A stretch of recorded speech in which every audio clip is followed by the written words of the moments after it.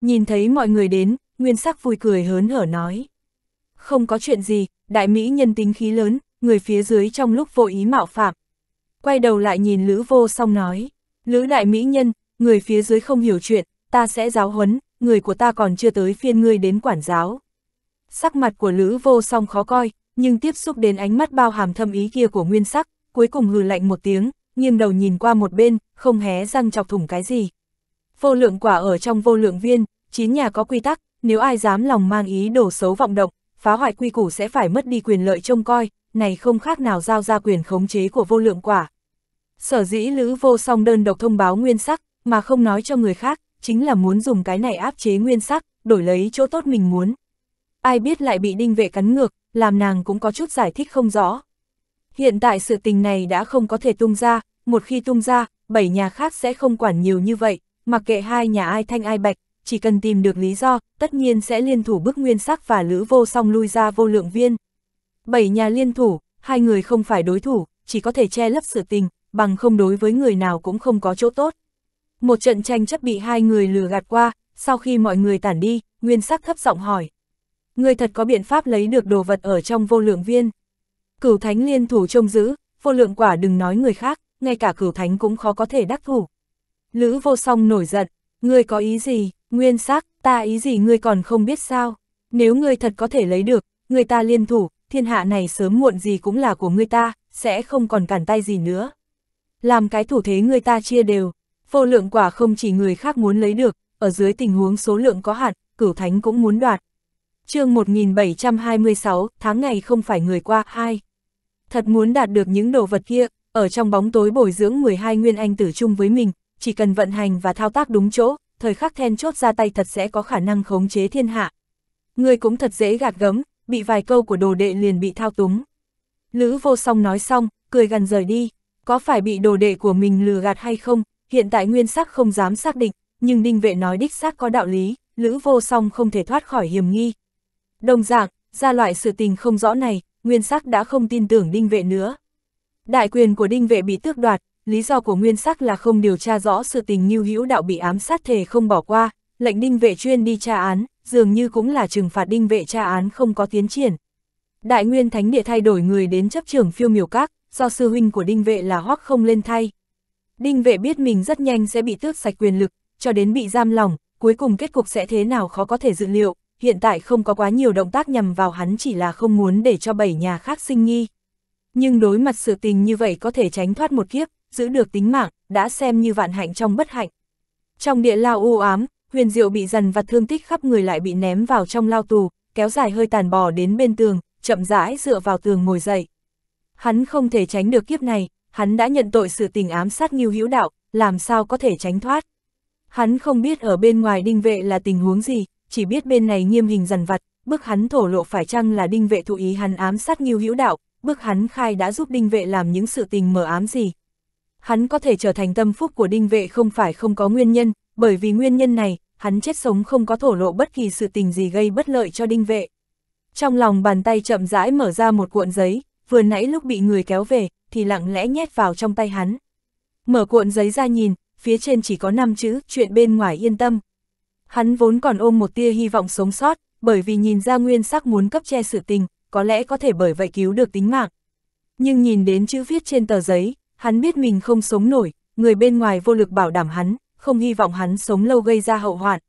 Trên mặt dần lộ ra cười thảm, vào tờ giấy nhét vào trong miệng, chậm rãi nuốt xuống. Ha ha, cười thảm, rơi lệ, hắn thật hối hận, bây giờ nghĩ đến mới biết không nên, chỉ vì nghiêu hữu đạo, lại liên lụy nhiều người như thế, còn phải ném đi tính mạng của mình, đáng giá sao? Thân thể cố sức lui ra sau một chút, sau đó dùng hết lực lượng cuối cùng, đùng. Đâm đầu vào vách đá, trong chung khu đường, sau khi bàn giao tất cả sự vụ cho sư huynh hoắc không, đinh vệ hành lễ xin cáo lui, hoắc không mặt không hề cảm xúc khẽ gật đầu. Đinh vệ xoay người, cứ như vậy rời đi, mới vừa đi ra đại môn, hoàng ban tới đón, thấp giọng báo cáo. Huyền diệu đi rồi, đinh vệ hít sâu một hơi, thần sắc phức tạp, không nói cái gì, nhanh chân rời đi. Vô lượng viên, ngao phong bước chân trầm trọng, chậm rãi từ trong vô hư đường đi ra, vừa vặn bái kiến qua sư phó Diệp Niệm, muốn xin nghỉ ra ngoài, sau đó thở thẫn đi ra ngoài. Mặc kệ Ngưu Hữu đạo chết như thế nào, nhưng đồ vật đã được hồ tộc mang đi. Trước vẫn thấp thỏm, không biết Ngưu Hữu đạo hứa hẹn còn có hiệu lực hay không, bất quá gần đây cũng nghĩ thông suốt, mặc kệ có hiệu lực hay không, hắn cũng phải đi thử xem, nếu như mất hiệu lực, hắn chẳng qua trở về là được, hoặc cứ trốn như vậy, có thể trốn bao lâu tính bao lâu. Tiếp tục đợi ở chỗ này thực quá đáng sợ, cả ngày lo lắng đề phòng, một khi vật giả trên cây bại lộ, lại cha không ra đồ vật rơi vào tay ai mà nói, chỉ sợ người trong vô lượng viên đừng mơ có ai sống sót. Trước đây Ngưu Hữu Đạo cũng nói qua coi như hắn bị tóm, cũng có thể lợi dụng lực dụ hoặc của vô lượng quả tìm người cứu hắn, nhưng vấn đề là bây giờ Ngưu Hữu Đạo chết rồi.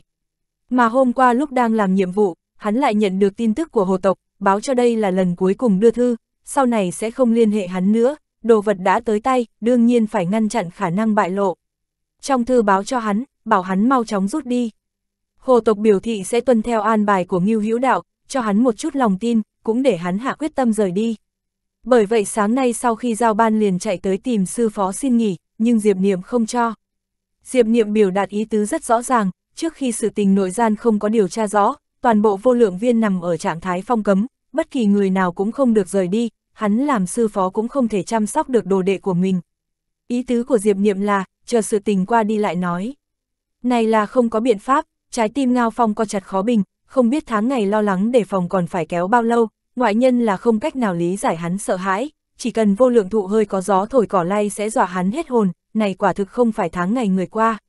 Nhưng hắn lại không dám nói ra, từ khi hắn lấy xuống 12 quả cây kia, hắn liền biết mình triệt để không cách nào quay đầu lại. Trong sơn cốc, chỗ cũ, Ngưu Hữu Đạo và Sa Như Lai lại lần nữa chạm mặt. Không ra ngoài ý muốn mà nói, này là lần cuối cùng hai người chạm mặt ở trong này, Sa Như Lai đã an bài xong, lần này là muốn dẫn Ngưu Hữu Đạo rời thánh cảnh.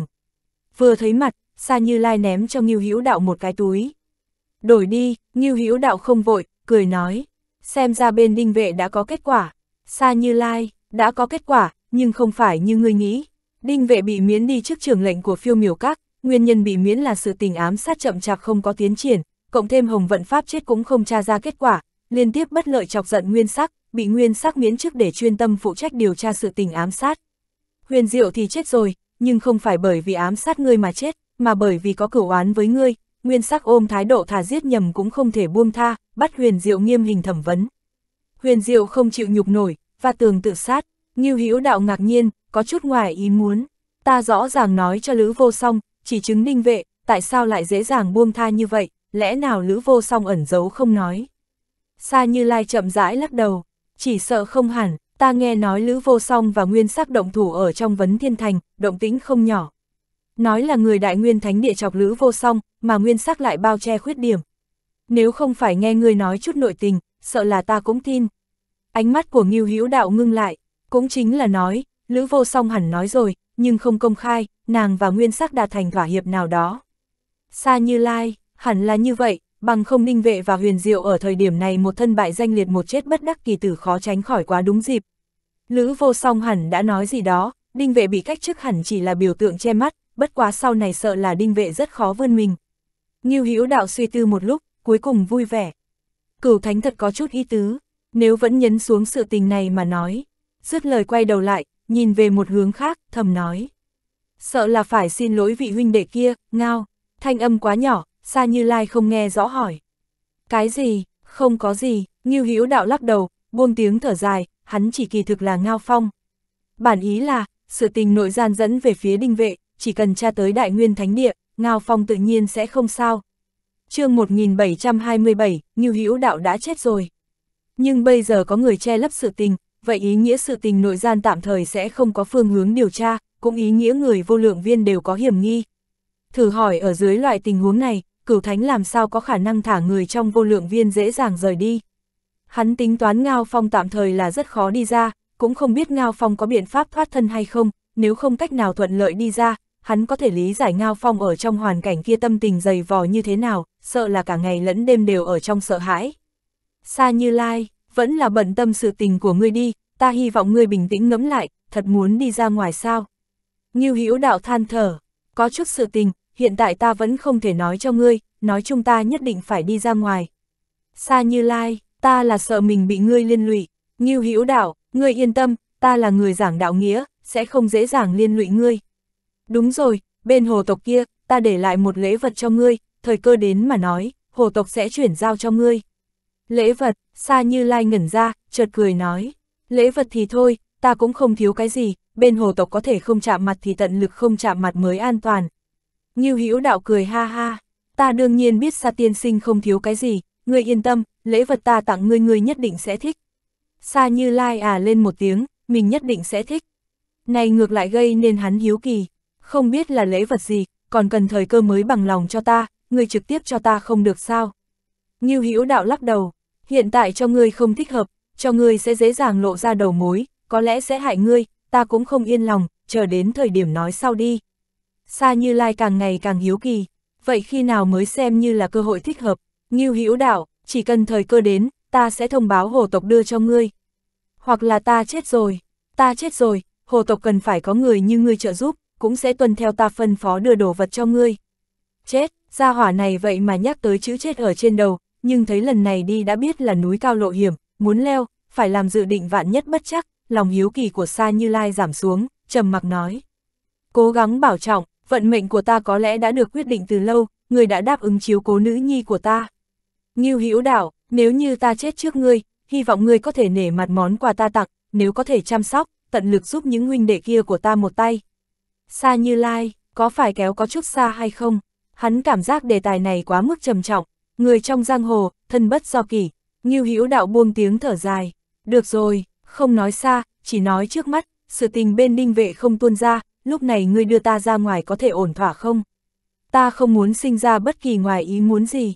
Sa Như Lai, ngươi yên tâm, phiêu miểu các thay đổi người chấp trưởng, ít nhiều gây nên cửu thánh quan tâm, ta là người tiền nhiệm chấp trưởng phiêu miểu các, tương đối quen thuộc, là thù phái ta đi ra ngoài quan tâm tình huống, ta thuận tiện mang ngươi đi ra ngoài, nếu có người kiểm tra, ta có thể chuyển ra La Thu danh chính ngôn thuận ngăn lại, không có việc gì. Vậy thì tốt, như Hữu đạo gật đầu, hắn không muốn ở chi tiết nhỏ lật thuyền trong mương.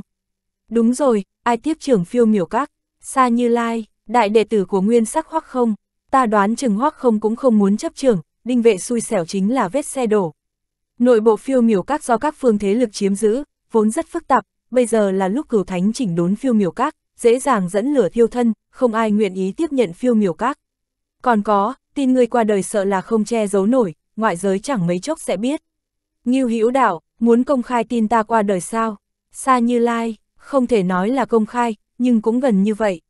Hoắc không vừa tiếp nhận phiêu miểu các, còn trong quá trình chỉnh lý sự vụ, quen thuộc tình huống, có thể làm được gì? Chỉ có khả năng làm được một vài sự tình nhỏ, người chết rồi, người tử kim động không còn, theo thường lệ phải lệnh tử kim động bổ sung người đi vào. Hoắc không đăng báo, cửu thánh hẳn không phản đối. Tin tức truyền tới chỗ ta, hiện tại ta nói cho ngươi sợ là đã muộn, Hoắc không hẳn đã phái người đi chấp hành. Ngưu Hữu Đạo không nói hai lời, lập tức mở túi vải, lấy ra đồ vật dịch dung ngụy trang, phải nắm chặt thời gian đi ra ngoài, sợ bên ngoài biết mình chết sẽ gây ra nhiễu loạn. Tấn vệ chi chiến, vệ quốc quân tâm dung chuyển, khắp mọi mặt chuẩn bị không đủ, thủ quân các nơi không đỡ nổi một đòn, có chút thậm chí chưa đánh đã hàng, vệ quốc cơ hồ đối mặt quân tấn càn quét, quá nửa quốc thổ không còn. Mà này chính là kết quả mà tấn quốc khổ tâm chuẩn bị đã lâu mong muốn. Quân tấn ép thẳng tới kinh thành vệ quốc, huyền vi không chịu bỏ kinh, quyết ý tử thủ, muốn cùng quân tấn tử chiến đến cùng. Nhưng bại thế như núi, đoán chừng thủ quân ở kinh thành khó chặn được quân tấn, quân thần dồn dập khuyên nhủ, ngay cả tam đại phái của vệ quốc cũng khuyên rút đi. Thậm chí bên tề quốc cũng liên tục đưa thư huyền vi, nhiều lần yêu cầu huyền vi vứt bỏ vệ kinh rút đi. Mục đích của tề quốc rất giản đơn, huyền vi là người cuối cùng ngưng tụ lực lượng vệ quốc chống cự tấn quốc, một khi đám người huyền vi chết ở dưới quân tiên phong của tấn quốc, lực lượng cứu viện của tề quốc sẽ không làm gì được nữa. Dưới bất đắc dĩ, huyền vi bái biệt tổ miếu, khóc lóc rời đi. Người rời kinh chạy nạn minh mông cuồn cuộn, đại tư mã cao phẩm của tấn quốc biết được tình huống khẩn cấp điều binh truy sát. Tề quốc muốn bảo đảm, tấn quốc tự nhiên là muốn giết, đối với tấn quốc mà nói, chỉ cần diệt đám người huyền vi, vệ quốc liền xong, then chốt như vậy, cao phẩm làm sao có thể buông tha. Đường chạy của cao tầng vệ quốc bị ngăn cản, đại quân của Hô Diên vô hận gấp rút tiếp viện, trưởng tử Hô Diên bảo tự mình dẫn 10 vạn kỵ binh ngày đêm tập kích bất ngờ, cường hành đánh tan quân tấn ngăn cản, giúp đám người huyền vi mở một đường máu, đón đám người huyền vi lui về phía Tề quốc. Thuận lợi rút lui chỉ có nhân mã vệ quốc và một đám nhân viên quan trọng, rất nhiều gia quyến đi theo trốn không kịp, tất cả rơi vào trong tay quân tấn, bao nhiêu vinh hoa phú quý giờ tan thành mây khói. Trai tài gái sắc cũng tốt, loè loẹt cũng được, đã từng xa hoa đồi trụy đều tan biến ở thời khắc này, tung xuống vô số huyết lệ. Từ đó đại quân của Hồ Diên vô hận cũng chính thức quyết đấu với đại quân của Cao Phẩm. Cao Phẩm lấy vô số con tin trong tay chiêu hàng, huyền vi sao có thể đáp ứng, Cao Phẩm dưới cơn nóng giận đẩy ra mấy ngàn gia quyến của vệ quốc lên trước trận hai quân đối chọi, muốn đánh muốn hàng làm gì cũng được. Động tác này rất ác độc, làm Hồ Diên vô hận cũng rất kiêng kỵ, đại quân bị làm cho liên tiếp lui về phía sau. Trên đỉnh núi, Thiệu Bình ba nở nụ cười, nhìn Thiệu Tam tỉnh phất tay chỉ phương xa nói. Cao tư mã quả quyết, không tiếc đối mặt nguy hiểm đoạn hậu, cũng muốn cướp trước triệt hạ những người này, bây giờ quả nhiên phát huy diệu dụng. Huyền vi kéo dài, chậm chạp không chịu bỏ thủ vệ kinh, chậm chế cơ hội tốt rút lui, cuối cùng ủ xuống quả đắng, sợ là bách quan vệ quốc sẽ oán hận không ngớt. Vâng, thiệu tam tỉnh đáp một tiếng, sau đó lại thấp giọng nói. Đại công tử, trưởng quỹ đến rồi. Thiệu Bình ba quay đầu lại, Thiệu Tam tỉnh gật đầu xác nhận, hai người xoay người rời đi. Bên khe suối, Thiệu Bình ba và khách tới chào nhau, sau đó hỏi. Nóng lòng cầu kiến tiên sinh có chuyện quan trọng, vì sao tiên sinh kéo dài tới hiện tại mới đến. Trưởng quỹ lắc đầu, trong thánh cảnh ra chút sự tình, nhất thời bất tiện rời đi. Nói sự tình của ngươi đi, vội vã gặp ta là vì chuyện gì? chương 1728, thỉnh cầu 1. Thân sắc của Thiệu Bình ba ngưng trọng nói, lần trước tiên sinh đưa tới tình báo có quan hệ tới Ngưu Hữu Đạo, ta xem qua một lần, phát hiện vấn đề rất lớn, Ngưu Hữu Đạo hẳn là muốn hạ thủ với vô lượng quả, tiên sinh cần nghĩ biện pháp ngăn cản.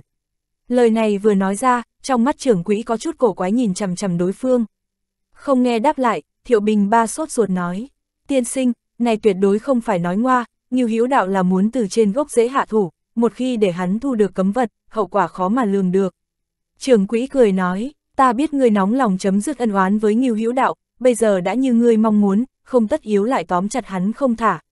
Thiệu Bình ba không rõ, tiên sinh lời ấy là có ý gì? Trưởng quỹ, Ngưu Hữu Đạo đã chết rồi. A, Thiệu Bình ba kinh ngạc đến ngây người, sau đó kiên quyết xua tay. Cái này không thể nào, bản lĩnh của hắn ta quá rõ ràng, nào có dễ dàng bị người giết như vậy. Trưởng quỹ, đã chết không thể chết lại, còn có cái gì không thể. Hắn kể ra sự tình như Hữu Đạo bị ám sát, Thiệu Bình ba nghe xong vẫn không dám tin tưởng, đi qua đi lại suy tư một trận, bỗng dừng bước ở trước mặt đối phương. Tiên sinh, đại sự không ổn, rất có khả năng Ngưu Hữu Đạo đã đắc thủ, hắn rất có khả năng là giả chết thoát thân. Trường quỹ cười ha ha một tiếng, Thiệu Bình ba, người hận Ngưu Hữu Đạo hận đến điên rồi sao? Vô lượng quả dễ thấy như vậy, có thất lạc hay không, mọi người đều không nhìn thấy, đều là người mù sao. Thiệu Bình ba ngậm miệng không nói, sau đó vội hỏi. Có nhìn thấy thi thể của Ngưu Hữu Đạo, nếu hoàn toàn thay đổi, không thể phân biệt, thì nhất định là có trò lừa. Ngưu Hữu Đạo chính là hồ ly, nguy hiểm chưa đến, hắn đã có khả năng nghe được chạy xa, chắc chắn sẽ không dễ dàng bị người mưu hại như vậy. Trưởng quỹ, ngươi có bị bệnh không? Ta nói hắn đã chết không thể chết lại, ngươi còn nhiều lời cái gì? Thiệu Bình ba chắp tay nói, tiên sinh, cũng không phải tại hạ cố tình gây sự, mà là nghiêu hữu đạo tuyệt đối không phải hạng người bình thường, hắn một đường đi tới, ta còn chưa từng thấy ai có thể ngăn trở được hắn, quyết không thể coi thường, người coi thường hắn bây giờ mộ đều đã xanh cỏ, hối hận thì đã muộn rồi. Tiên sinh, người này là một đời yêu nghiệt, ngang dọc ở trong loạn thế, tuyệt đối không thể dễ dàng bị giết.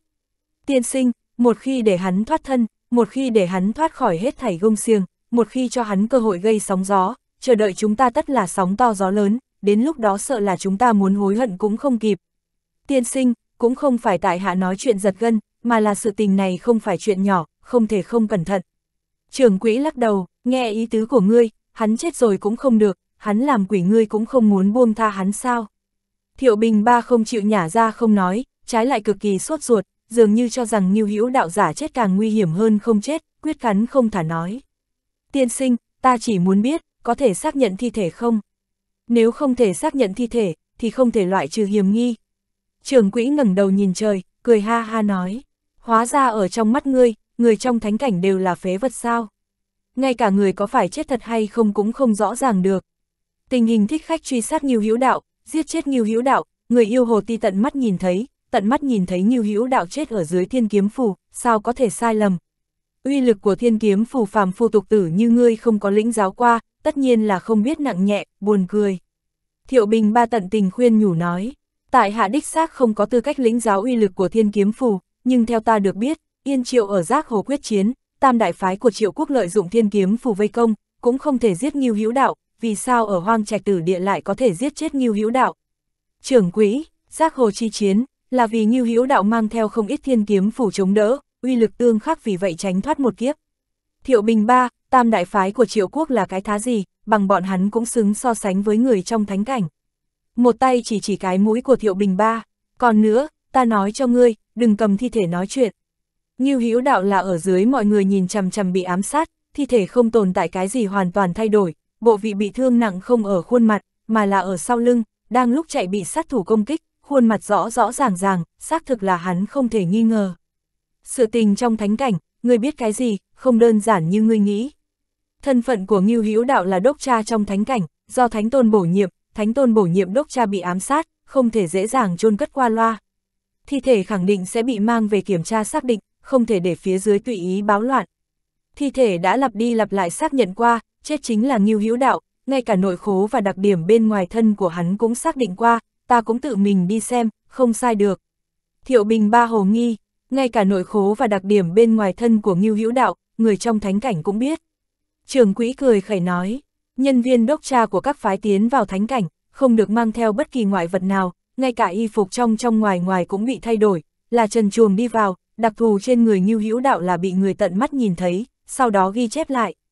nhấc tay chỉ chỉ ngực của Thiệu Bình ba vạch xuống, thí dụ như trên ngực hắn có một vết sẹo, chính là một trong mấy chứng cứ xác định, là vết thương cũng lưu lại vết tích, lúc khám nghiệm tử thi xác định qua, kia là có thể lâm thời làm giả ra sao.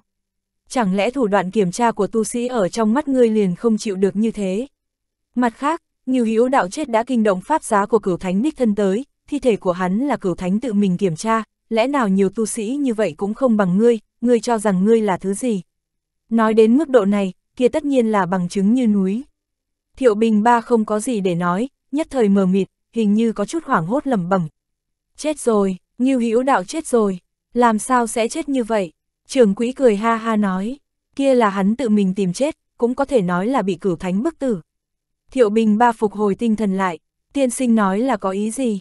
Trưởng quỹ, ta nói rồi, sự tình trong thánh cảnh không đơn giản như ngươi nghĩ. Ngươi cho rằng đốc cha là dễ làm như vậy, kia chính là đao trong tay cửu thánh, có thể dùng thì dùng, không thể dùng thì bỏ. Ngươi hẳn nghe nói qua sự tình nhân viên đốc cha bên ngoài bị giết một nhóm lớn chứ. Đám người như hữu đạo muốn tiếp tục sống an nhàn là sự tình không thể, bọn hắn hẳn cũng ý thức được, không bỏ ra được thứ hữu dụng, hoặc là nói đốc cha không ra kết quả cửu thánh muốn chính là chết, thánh cảnh là địa phương gì, các phương thế lực chiếm giữ, không giống bên ngoài có thể tùy tiện dần vặt, rất khó tra ra đồ vật gì hữu dụng, những người này vì mạng sống đi đụng vào đồ vật không nên đụng. Có thể ở trong thánh cảnh triệu tập một nhóm người và vận dụng một nhóm phi cầm cỡ lớn truy sát nghiêu hữu đạo, sao có thể là người bình thường. Lúc đó thật giống như hắn nắm giữ chứng cứ bất lợi với người nào đó, chọc người không nên chọc, mới gặp phải họa sát thân. Thiệu Bình ba trầm mặc, trưởng quỹ, sau này nếu không có sự tình gì quan trọng, thì đừng có đến làm phiền ta. Dứt lời liền muốn rời đi, tiên sinh chậm đã, Thiệu Bình ba tranh thủ ngăn đối phương, tại hạ còn có một chuyện muốn nhờ. Trưởng quỹ ngừng lại, lạnh lùng nói, sự tình gì, Thiệu Bình ba, hô diên vô hận, người này là uy hiếp lớn nhất với quân tấn, bằng mạng lưới trong tay tiên sinh, nếu có thể được tiên sinh giúp đỡ, nói vậy diệt trừ hô diên vô hận hẳn không phải việc khó. chương 1729, thỉnh cầu 2 Trường quỹ cười lạnh nói, sự tình của ngươi còn rất nhiều, chuyện lớn chuyện nhỏ cũng bắt đầu sai khiến tới ta. Như thế nào, người định dùng thóp trên tay ngươi áp chế ta cả đời sao? Ta nói cho ngươi biết, có chừng có mực, bức ta không có chỗ tốt gì với ngươi. Thiệu Bình ba vội vàng chắp tay khom người nói, không dám, đích xác là thành tâm khẩn cầu tiên sinh giúp đỡ. Trường quỹ khinh thường nói, vì sao ta phải giúp ngươi? Thiệu Bình ba, vì sao tiên sinh kinh doanh hồng vận pháp? Năng lực của tiên sinh lại mạnh, phía dưới cũng cần người làm việc, đặc biệt là một chút người làm việc trong bóng tối. Tuy ta không biết thánh cảnh sâu cạn, cũng không biết nội bộ phiêu miểu các thế nào, nhưng có thể thành thế lực, tất nhiên có ràng buộc và quy củ, nói vậy tiên sinh luôn có thời điểm không tiện vận dụng nhân thủ của phiêu miểu các, hồng vận pháp không thể không chết, nhưng y nguyên rước lấy truy tra chính là vết xe đổ. Tiên sinh thử nghĩ, nếu như tấn quốc có thể bình định tề vệ, mà tại hạ lại có thể phục vụ tiên sinh, ngày sau trong phạm vị ba nước phía Tây, tiên sinh có sự tình gì chỉ cần phân phó tại hạ một tiếng, sẽ không gây ra hiểm nghi gì. Trường quỹ lạnh nhạt nói, nếu tấn quốc thật có thể trưởng khống địa vực của ba nước phía Tây, người địa vị cao hơn người chỗ nào cũng có, ta dùng ai không được, cần gì phải là ngươi. Thiệu Bình ba, tiên sinh nói có lý, trên có khí vân tông, dưới có tấn hoàng thái thúc hùng, nhưng tiên sinh thật thích hợp trực tiếp tìm bọn hắn sao. là lấy danh nghĩa thánh cảnh, hay lấy danh nghĩa phiêu miểu các, có thể sử dụng hai nơi này thì không thể nói là việc tư của tiên sinh. Nếu dùng hai nơi này xử lý việc tư trong bóng tối, không nói có thể lòi đuôi hay không, tiên sinh cảm thấy bọn hắn dám che giấu phiêu miểu các lén lút làm việc cho tiên sinh sao. Bất kể là khí vân tông hay thái thúc hùng, lấy địa vị của bọn hắn bây giờ, không đáng vì tiên sinh mạo hiểm, giữa tiên sinh và phiêu miểu các, bọn hắn sẽ đứng ở bên nào, không cần nghĩ nhiều. Đương nhiên, còn có bách quan có thể dùng, nhưng ở trong bách quan, cản tay khá nhiều, lẫn nhau đấu đá lung tung, mạo muội cuốn vào không biết là giúp tiên sinh hay hại tiên sinh. Chỉ có tại hạ bất đồng, tự tin còn có một chút năng lực, có thể ở giữa điều động. Chỉ cần có thể được tiên sinh nâng đỡ, tất không để tiên sinh thất vọng. trường quỹ trầm mặc, ánh mắt trên dưới đánh giá một phen, không thể không thừa nhận, Thiệu Bình ba đích xác có năng lực, này là trải qua rất nhiều sự tình kiểm nghiệm, trọng yếu là người này không sợ uy thế của phiêu miểu các. Đương nhiên, càng trọng yếu là, hắn xác thực có thóp ở trong tay đối phương. Thấy đối phương dường như động tâm, Thiệu Bình ba khom người bái thật sâu, chắp tay nói. Thiệu Bình ba bất tài, nguyện vì tiên sinh ra sức châu ngựa. Trưởng quỹ không có trực tiếp đáp ứng, mà từ từ nói. Muốn giết Hồ Diên vô hận không dễ dàng như vậy, quản gia cha hổ bên người Hồ Diên vô hận, tuy năm đó bại ở trên tay Tây môn tình không, nhưng là vờ bại, xếp hạng một đường rơi xuống, tuy trước mắt ngay cả 10 vị trí đầu của đan bảng cũng không vào được, kỳ thực thật muốn động thủ, chỉ sợ ngay cả Tây môn tình không cũng chưa chắc là đối thủ của hắn. Người này tu vi cường đại, nhưng cam tâm làm chó săn của Hồ Diên vô hận, đi theo bên người Hồ Diên vô hận, cơ hồ một tấc cũng không rời, có người này ở đây, muốn đơn giản ám sát căn bản không thể, trừ khi tập kết đại lượng cao thủ vây công. Mà lực lượng hộ vệ bên người Hồ Diên vô hận lại không yếu, cộng thêm thân ở trong đại quân, ngay cả tiếp cận cũng khó, cường hành ám sát là không thể thực hiện được. Thiệu Bình ba công khai không được, có thể hành sự ở trong bóng tối. Trưởng quỹ, bây giờ cao phẩm không phải đã chiếm cứ ưu thế, không phải đã làm cho Hồ Diên vô hận từng bước lùi về sau sao. Thiệu Bình ba chỉ tạm thời mà thôi, chỉ là con tin sao có thể sánh bằng mối lo diệt quốc. Lúc này chỉ là nội bộ vệ quốc khó có thể quyết đoán, một khi làm tề quốc lo lắng, Hồ Diên vô hận ngang dọc xa trường, sát phạt quyết đoán, máu chảy thành sông, thây chất đầy đồng cũng sẽ không chớp mắt, sao có thể lòng dạ mềm yếu. Yên Sơn Minh, tề vô hận, dưới thanh danh vang dội không có hư sĩ, ta lo lắng cao phẩm không hẳn là đối thủ của Hồ Diên vô hận. Trường quỹ chậm rãi nói, cha hổ một tay dạy dỗ bảy bộc, mỗi người trung thành cống hiến, hơn nữa đều là cao thủ, những người này toàn diện trưởng khống sinh hoạt thường ngày cho Hồ Diên vô hận, không cho bất kỳ ngoại nhân nào có cơ hội nhúng tay, muốn ám sát là không thể. Ở triều chính, trong ngoài tề quốc, người muốn trí Hồ Diên vô hận vào chỗ chết không biết có bao nhiêu, thật dễ dàng như vậy mà nói, Hồ Diên vô hận sao có thể sống tới ngày nay. Thiệu Bình ba bằng lực lượng trong bóng tối của phiêu miểu các cũng không được sao. Trưởng quỹ khẽ lắc đầu, phiêu miểu các muốn giết Hồ Diên vô hận tự nhiên không thành vấn đề, nhưng vấn đề là lấy thủ đoạn ám sát sẽ phải đối mặt vấn đề mới vừa nói, tổng không thể ngang nhiên hành hung nha. Không có phía trên của phiêu miểu các hạ lệnh, ai dám làm như vậy. Nếu ta cường hành điều động, đến thời điểm xử lý hậu quả là ngươi thoát thân, hay ta thoát thân. Thiệu Bình ba bằng mạng lưới tình báo của phiêu miểu các, lẽ nào cũng không có biện pháp sao? Trưởng quỹ, có biện pháp ngươi sợ là đã sớm nói, còn cần lăn qua lộn lại hỏi ta. Sự tình này để ta nhìn xem tình huống lại ước lượng, có tin tức sẽ thông báo ngươi. Dứt lời cất bước muốn rời đi, tiên sinh, thiệu bình ba kéo lại lần nữa, khó được gặp mặt một lần, có cơ hội thỉnh giáo đương nhiên phải tận lực thỉnh giáo, hỏi. Vừa rồi tiên sinh nói đến Tây Môn Tình không, còn chưa cảm ơn tiên sinh lần trước giúp đỡ, tương lai tất sức đền đáp. Sau khi cảm tạ, lại nói, bất quá theo thám tử Tấn Quốc báo cáo, sau khi Tây Môn Tình không trúng độc hướng đi không rõ, làm người hiếu kỳ, tiên sinh có biết chết sống hoặc tung tích không? Trưởng quỹ, Tề Kinh không phải có đệ tử quỷ y sao? Thiệu Bình ba, tiên sinh ý tứ là, đệ tử quỷ y cứu Tây Môn Tình không? Trưởng quỹ liếc mắt nhìn hắn, sự tình này nói đến còn phải nhờ muội muội của ngươi, Hạo Vân đổ lệnh muội muội ngươi ra mặt, cầu động đệ tử quỷ y cứu trị. A, hai huynh muội ngươi thật có ý tứ, một cái muốn giết, một cái muốn cứu, sớm biết ta sẽ không dính vào. Tây môn tình không trúng độc hẳn là đã được giải, còn lúc này ở nơi nào tu dưỡng khôi phục, vậy thì không được biết rồi, huyền vi sợ Tây môn tình không gặp phải độc thủ, hẳn là tốn tâm tư bảo mật yểm hộ, đi nơi nào ngay cả Hạo Vân Đồ cũng không biết, cũng không muốn hỏi. Ta cũng không có tất yếu tóm chặt Tây môn tình không không thả. Nếu như ngươi muốn tìm Tây môn tình không, ta có thể chỉ con đường cho ngươi, chỉ cần có thể tìm được trưởng môn đường nhi của Thượng Thanh Tông, thì có thể tìm được tung tích của Tây môn tình không. Đến đây là hết lời, không dài dòng nữa, quay người rời đi. Thiệu Bình Ba khó có thể lưu lại, chỉ có thể chắp tay đưa tiến, nhìn đối phương rời đi, Thiệu Bình Ba khoanh tay, nhíu mày tự nói. Liễu Nhi, Thiệu Tam tỉnh thấy người đi rồi, lúc này mới tới hỏi. Lần này gặp mặt, đại công tử có thu hoạch gì không? Thiệu Bình Ba hỏi một đằng trả lời một nẻo, ánh mắt lấp lóe nói. Người này nắm giữ khá nhiều tình huống của ba nước phía Tây. Thiệu Tam tỉnh, người của phiêu miểu các vốn giấu giếm các nơi, huống hồ người này có thể chi phối sinh tử của chấp sự hồng vận pháp, ở phiêu miểu các địa vị hẳn không thấp, có thể nắm giữ một chút tình huống không phải rất bình thường sao. Thiệu Bình Ba khẽ vuốt cầm, sau đó lại khẽ lắc đầu. Người ta đối với tình huống của phiêu miểu các biết có hạn, không biết người có địa vị như hắn đều có thể biết nhiều như thế, hay chỉ có hắn mà thôi. chương 1730, xin nén bi thương. Nói xong lại lộ ra thần sắc trầm tư, nghe được lời này, thiệu tam tỉnh minh bạch đại công tử nghĩ gì, đại công tử hẳn là muốn suy đoán ra thân phận chân thực của người bí ẩn này. Hắn lẳng lặng chờ ở bên cạnh, không dám quấy nhiễu dòng suy nghĩ của công tử. Ai, thiệu bình ba phục hồi tinh thần lại, bỗng nhiên ngửa mặt lên trời thở dài một tiếng. Thiệu tam tỉnh không rõ, vì sao công tử lại phiền muộn, thiệu bình ba tự diếu cười cợt, nghiêu hữu đạo chết rồi. Cái gì, thiệu tam tỉnh có chút mộng, cho rằng bản thân nghe lầm. Thiệu bình ba than thở, bằng hiểu biết của chúng ta, không dám tin tưởng phải không? Ta vừa nghe cũng không dám tin, nhưng trưởng quỹ nói rất rõ ràng, sáng tỏ không có sai sót, Ngưu Hữu Đạo ở trong thánh cảnh trêu chọc phải người không nên trêu chọc, bị người giết, bây giờ ngay cả hung thủ là người phương nào cũng không biết, ở trong thánh cảnh chọc ra động tĩnh không nhỏ. Thiệu Tam tỉnh y nguyên khó có thể tin, bằng bản lĩnh của Ngưu Hữu Đạo, làm sao có khả năng dễ dàng ngộ hại.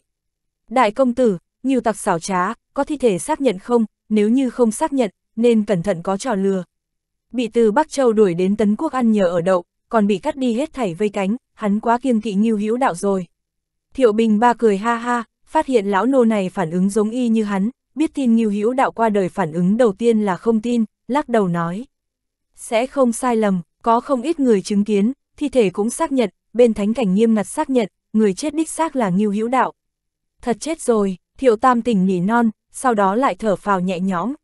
Người này không chết, tất thành hậu hoạn của công tử, bây giờ chết rồi, cũng coi như giải nỗi lo về sau cho đại công tử. Nhắc tới cũng phải, lúc trước hắn tiến vào thánh cảnh, mọi người đã báo trước có hung hiểm, không nghĩ tới thật không thể tránh thoát. Cũng khó trách thánh cảnh làm cả tu tiên giới nơm nấp lo sợ, xem ra người bình thường là vô phúc hưởng thụ. Ai, thiệu bình ba ngửa mặt lên trời thở dài. Phải, thật chết rồi.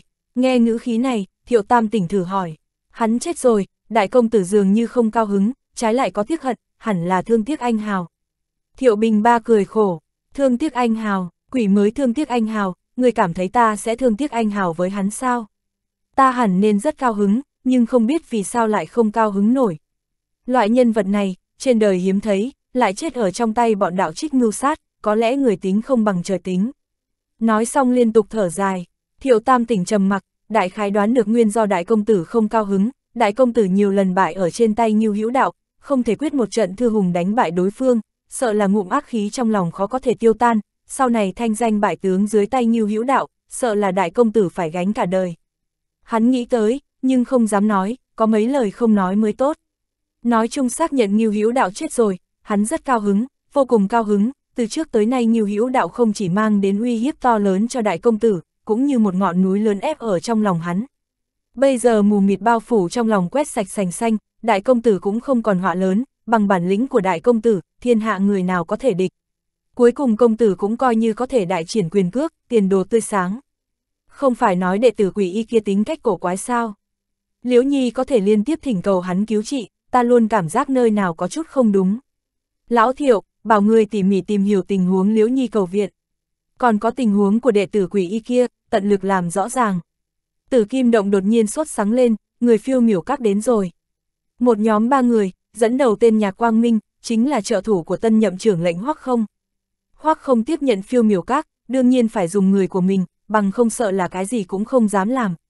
Người phiêu miểu các hoặc không lộ diện, một khi ngang nhiên lộ diện tìm tới cửa, bình thường dường như không có chuyện gì tốt, tự nhiên làm tử kim động khẩn trương. Trưởng môn cung lâm sách cùng các trưởng lão đang nghị sự, nghị luận chiến sự phía Tây, thương nghị làm sao trả lời sự tình vệ quốc cầu viện, được biết người phiêu miểu các đến, vội vàng ra nghênh tiếp. Sau khi chào hỏi, cung lâm sách mời đối phương đi vào, nhưng nhạc quang minh nhấc tay. Không cần làm phiền, lần này ta đến là thông báo tử kim động một tiếng, tìm ba nhân viên thay thế như hữu đạo tới thánh cảnh tiếp tục thực hiện chức trách đốc cha. Cái gì, các cao tầng của tử kim động cả kinh, hai mặt nhìn nhau. Cung lâm sách chắp tay thỉnh giáo, nhạc tiên sinh, chẳng lẽ như trưởng lão của tệ phái ở thánh cảnh chọc ra sự tình gì bị phán quyết sao? Nhạc quang minh nói, chưa phạm sai lầm, cũng không bị phán quyết. Cung lâm sách hỏi, vậy vì sao phải thay thế bổ sung? Phái như trưởng lão đi là vì hắn khôn khéo linh hoạt, không người có thể so sánh, là nhân tuyển đốc cha tốt nhất. Nhạc quang minh trực tiếp làm rõ, như Hữu đạo chết rồi. a mọi người hãi hùng khiếp vía, phát hiện thật là sợ điều gì sẽ gặp điều đó. Trưởng lão nghiêm lập giật mình, sau đó khóe miệng nổi lên quỷ tiếu, trong lòng sảng khoái, cậu vật kia rốt cục gặp báo ứng. Cung lâm sách bình ổn tâm thần, không bị phán quyết, vì sao lại chết. Sự tình kia còn chưa kết thúc, nhạc quang minh không muốn nhiều lời. Ta cũng không rõ ràng, chờ người của các ngươi đi, tự nhiên sẽ biết. Nhân tuyển không vội vã nhất thời, các ngươi tự mình định ra, cho các ngươi ba ngày, ba ngày sau phiêu miểu các sẽ đến tiếp người. Đã nghe rõ chưa, hắn chỉ là tiện đường đi qua, sự tình trong thánh cảnh còn chưa xong, hoặc không không thích hợp suốt cảnh đích thân tới thiên đô phong, phái hắn chạy tới tọa chấn. Sau đó hắn sẽ phái người rút khỏi thiên đô phong tiện đường đến nơi này mang nhân viên tử kim động vào thánh cảnh báo cáo kết quả. Không cách nào cự tuyệt, cũng không dám kháng lệnh, cung lâm sách chỉ có thể chắp tay nói. Vâng, nhà quang minh không lưu lại lâu, xoay người rời đi. Chờ mắt nhìn đối phương rời đi, mọi người rơi vào trầm mặc, hoặc than thở. Trưởng lão nghiêm lập bóng lên nói, trưởng môn, trước khi Nghiêu Hữu đạo đi đã nói, nếu hắn không thể sống sót trở về, người Mao Lư biệt viện phải rời khỏi từ Kim động ta. Bây giờ việc đã đến nước này, ngoại nhân tiếp tục ở trong từ Kim động ta đã không quá thích hợp, nên mời bọn hắn rời đi. Từng bị Mao Lư biệt viện làm mặt mũi tối tăm, bây giờ trụ cột của Mao Lư biệt viện không còn, đương nhiên phải cho chút màu sắc. Trưởng lão phó quân nhượng liếc chéo nói, đến thời điểm này, người còn có tâm tư ghi nhớ sự tình còn con kia. Nghiêm lập thẫn thờ, biết trưởng lão khác đều lo lắng mình sẽ thế thân nghiêu hữu đạo vào thánh cảnh, nhưng hắn không có quá nhiều lo lắng, hắn là người của trưởng môn, trưởng môn sẽ thiên vị. Ai, cung lâm sách thở dài, tránh không khỏi, chỉ cho chúng ta ba ngày, vấn đề nhân tuyển, mọi người nghị luận một chút đi. Nói xong xoay người, mọi người theo hắn đi vào đại điện nghị sự. Loại sự tình này không ai nguyện ý đi, ngay cả Nghiêu Hữu đạo cũng chết ở trong thánh cảnh, còn ai dám đi. Còn có ba ngày kéo dài, mọi người từ chối lẫn nhau, nhất thời không thể cầm ra định luận. Các trưởng lão tản đi không bao lâu, tin tức Ngưu Hữu đạo đã chết từ trong tử kim động truyền ra. Quy miên các cửa an biết tình huống liền báo cho Trung Cốc Tử, Trung Cốc Tử chỉ mở mắt buông tiếng thở dài, sau đó nhắm mắt, không có nhiều lời. Sau đó cửa an chạy tới Mao Lư biệt viện xem tình huống, người còn chưa tới cửa, liền gặp trưởng lão nghiêm lập mang theo một nhóm người xông vào Mao Lư biệt viện. Tin tức của cửa an là từ trong miệng thê tử Văn Mặc Nhi nghe được, Văn Mặc Nhi đã gặp Quản Phương Nhi, báo tin Nghiêu Hữu Đạo qua đời. Quản Phương Nhi nghe tin như bị xét đánh, ngốc ở tại chỗ, thật lâu không nói. chương 1731, lòng người bàng hoàng. Sắc mặt đám người hứa lão lục trầm trọng, đều hiểu, Nghiêu Hữu Đạo vừa chết, mọi người rơi vào cảnh tiền đồ khó lường. Thời điểm nơi này còn khó có thể tiếp nhận hiện thực, hỏa vô đơn chí, nghiêm lập mang người đến, vừa thấy quản phương nhi liền mặt không chút thay đổi nói. Xem ra đã biết tình huống, xin nén bi thương. Quản phương nghi quay đầu lại nhìn hắn, viên mắt đã đỏ, không nói một lời, thậm chí quên chào hỏi. Đối với cái này, nghiêm lập cũng không lưu ý, ngắm nhìn bốn phía, thưởng thức đình viện bị người mau lưu biệt viện chiếm rất lâu, hai tay không chút hoang mang chậm rãi ôm trước ngực, lạnh lùng nói. Theo ước định của tử Kim Động và Ngưu trưởng lão, phải xin lỗi chư vị. Theo ước định, cũng là theo môn quy, tử Kim Động không cho phép đại lượng ngoại nhân đóng quân, mời chư vị lập tức rời đi. Phần ước định này, Quản Phương Nghi tất nhiên là biết, cũng biết Ngưu Hữu Đạo vừa chết mọi người không cách nào đặt chân, cường lưu ngược lại sẽ mang đến nguy hiểm, bởi vậy Ngưu Hữu Đạo sớm bản giao, phải rời đi. Quản Phương Nghi nói, tất nhiên là tuân mệnh, chỉ là nhiều người như thế đột nhiên rời đi vẫn cần một chút thời gian thu thập chuẩn bị, lập tức mà nói, khó tránh khỏi có chút làm khó chúng ta. Nghiêm lập lạnh nhạt nói, tử kim động sẽ không làm việc không hợp tình hợp lý, cho các người nửa ngày, nửa ngày sau, nếu như còn có người lưu lại, đừng trách ta không khách khí. Những gia nghiệp này, nhiều người như thế, thời gian nửa ngày làm sao có thể thu thập xong. Quản phương nghi chất vấn một câu, thấy đối phương không hề bị lay động, minh bạch, cười thảm nói. Đạo gia vừa mới chết, lại vì tử kim động mà chết, tử kim động quay đầu liền bước bách như thế, không khỏi quá mức đi. Quy củ chính là quy củ, nghiêm lập nói xong quay đầu rời đi, một đám đệ tử đồng hành đều có cảm giác cười trên nỗi đau của người khác, đều biết sư phó đang trả thù. Nghiêm lập đích xác đang trả thù, chỉ là cường độ trả thù này hắn còn hiểm không đủ, nhưng cung lâm sách có căn dặn, không được làm quá mức. Đạo lý rất đơn giản, như lúc trước thương nghị với Nghiêu Hữu Đạo, Tử Kim Động còn muốn thuận lợi tiếp nhận thế lực của Thương Chiêu Tông nhất hệ, hiện tại làm quá mức, sẽ để Thương Chiêu Tông khó xử, bên Thương Chiêu Tông sợ là sẽ không dễ bàn giao. Vì khí thế nhất thời, mà làm sự tình càng trọng yếu hơn sinh khúc chiết là không tất yếu, cung lâm sách vì vậy mà ràng buộc sư đệ của mình. Đương nhiên, cũng coi như là cho nghiêm lập cơ hội hả giận. Cự An nhìn thấy một màn này, chậm rãi đi tới bên người Văn Mặc Nhi, hai phu thê nhìn nhau ai thán, cũng bất đắc dĩ, bọn hắn không cách nào khống chế quyết định của nghiêm lập. Đám người nghiêm lập rời đi, tự hồ sợ người Mao lư biệt viện khác không biết tin Ngưu Hữu đạo qua đời, lúc rời đi một đường thấy người liền nhắc nhở. Nháy mắt, toàn bộ Mao lư biệt viện lòng người bàng hoàng. Đoạn hổ và ngô tam lưỡng nghe được tin tức lập tức đi vào trong biệt viện, viên cương rõ ràng còn chưa biết, cánh tay đang để Trần Du xà đơn rèn thể, một thân bắp thịt làm cho người ta có cảm giác sung kích thị giác. Viên gia, đạo gia xảy ra vấn đề rồi. Đoạn hổ cấp tốc báo tình huống. Viên cương thu công, vươn mình nhảy xuống, sắc mặt nghiêm nghị. Đoạn hổ thấp giọng hỏi câu, viên gia, đạo gia thật gặp nạn sao? Người giả thay kia, viên cương nghiêng đầu, trầm giọng nói, ngậm miệng, đoạn hổ đành phải ngậm miệng, cấp tốc quan sát bốn phía, cùng ngô tam lưỡng nhìn nhau, hai người đều tha thiết mong chờ nhìn viên cương, chờ mong có thể được trả lời xác thực. Người khác không rõ ràng, nhưng hai người là tự tay làm ra nghiêu hữu đạo giả, sự tình nghiêu hữu đạo giả thuộc về sự kiện nghiêm ngặt bảo mật, toàn bộ Mao Lư biệt viện chỉ có bọn hắn biết, còn là viên cương ở trong bóng tối tự tay bố trí, hiện tại đột nhiên truyền đến tin nghiêu hữu đạo qua đời, hai người muốn không nghi ngờ cũng khó, đều cho rằng viên cương biết càng nhiều nội tình. Viên cương không có trả lời, trở về trong phòng, cạch một tiếng đóng cửa. Hai người ở ngoài theo tới suýt chút nữa bị cửa va mũi, một tam lưỡng nhẹ nhàng gõ cửa gọi. Viên ra, để ta yên tĩnh một chút, viên cương nói, hai người đành phải thôi, nhưng nỗi lòng khó bình tĩnh, yên lặng bồi hồi ở trong đình viện, hy vọng chờ viên cương đi ra. Vì phản ứng của viên cương để cho trong lòng hai người có chút không chắc chắn. Viên cương cúi người, chậm rãi ngồi trên mặt đất, lặng im vô thanh vô tức. Hắn biết đến kỳ thực cũng không nhiều, có lẽ là có chút sự tình không tiện tường thuật ở trong thư, như Hữu đạo cũng không báo cho hắn kế hoạch gì khác, chỉ phân phó hắn làm sự tình, để hắn bí mật xử lý. Ngưu Hữu đạo giả đến tột cùng là dùng để làm gì, hắn thật không rõ ràng. Hiện tại đột nhiên truyền đến tin Ngưu Hữu đạo qua đời, hắn cũng có chút trở tay không kịp, có chút không biết thực hư. Bằng tính cách nhiệt huyết xung động của hắn, hiện tại có thể ổn định là bởi vì hoài nghi giống như đoạn hổ và ngô tam lưỡng, có phải đạo gia dùng kế sách kim thiền thoát xác hay không? Bên này vẫn định kỳ truyền tin tức vào trong thánh cảnh, nhưng bên đạo gia đã có một đoạn thời gian không trả lời. Này để trong lòng hắn rơi vào bất an, hắn tận lực áp chế thấp thỏm trong lòng, tự mình an ủi, đạo gia hẳn sẽ không có chuyện, hẳn sẽ không xảy ra chuyện. Hắn là người hiểu rõ nghiêu hữu đạo, cho rằng bằng bản sự của đạo gia, sẽ không xảy ra chuyện. Trong lúc nhất thời không cách nào kiểm chứng sự tình thật giả, hắn cũng chỉ có thể an ủi mình như vậy, một mình đóng kín ở trong phòng. Bên ngoài, quản phương nhi đến, viên mắt đỏ hồng, rõ ràng đã khóc, cố nén bi thống đi tới.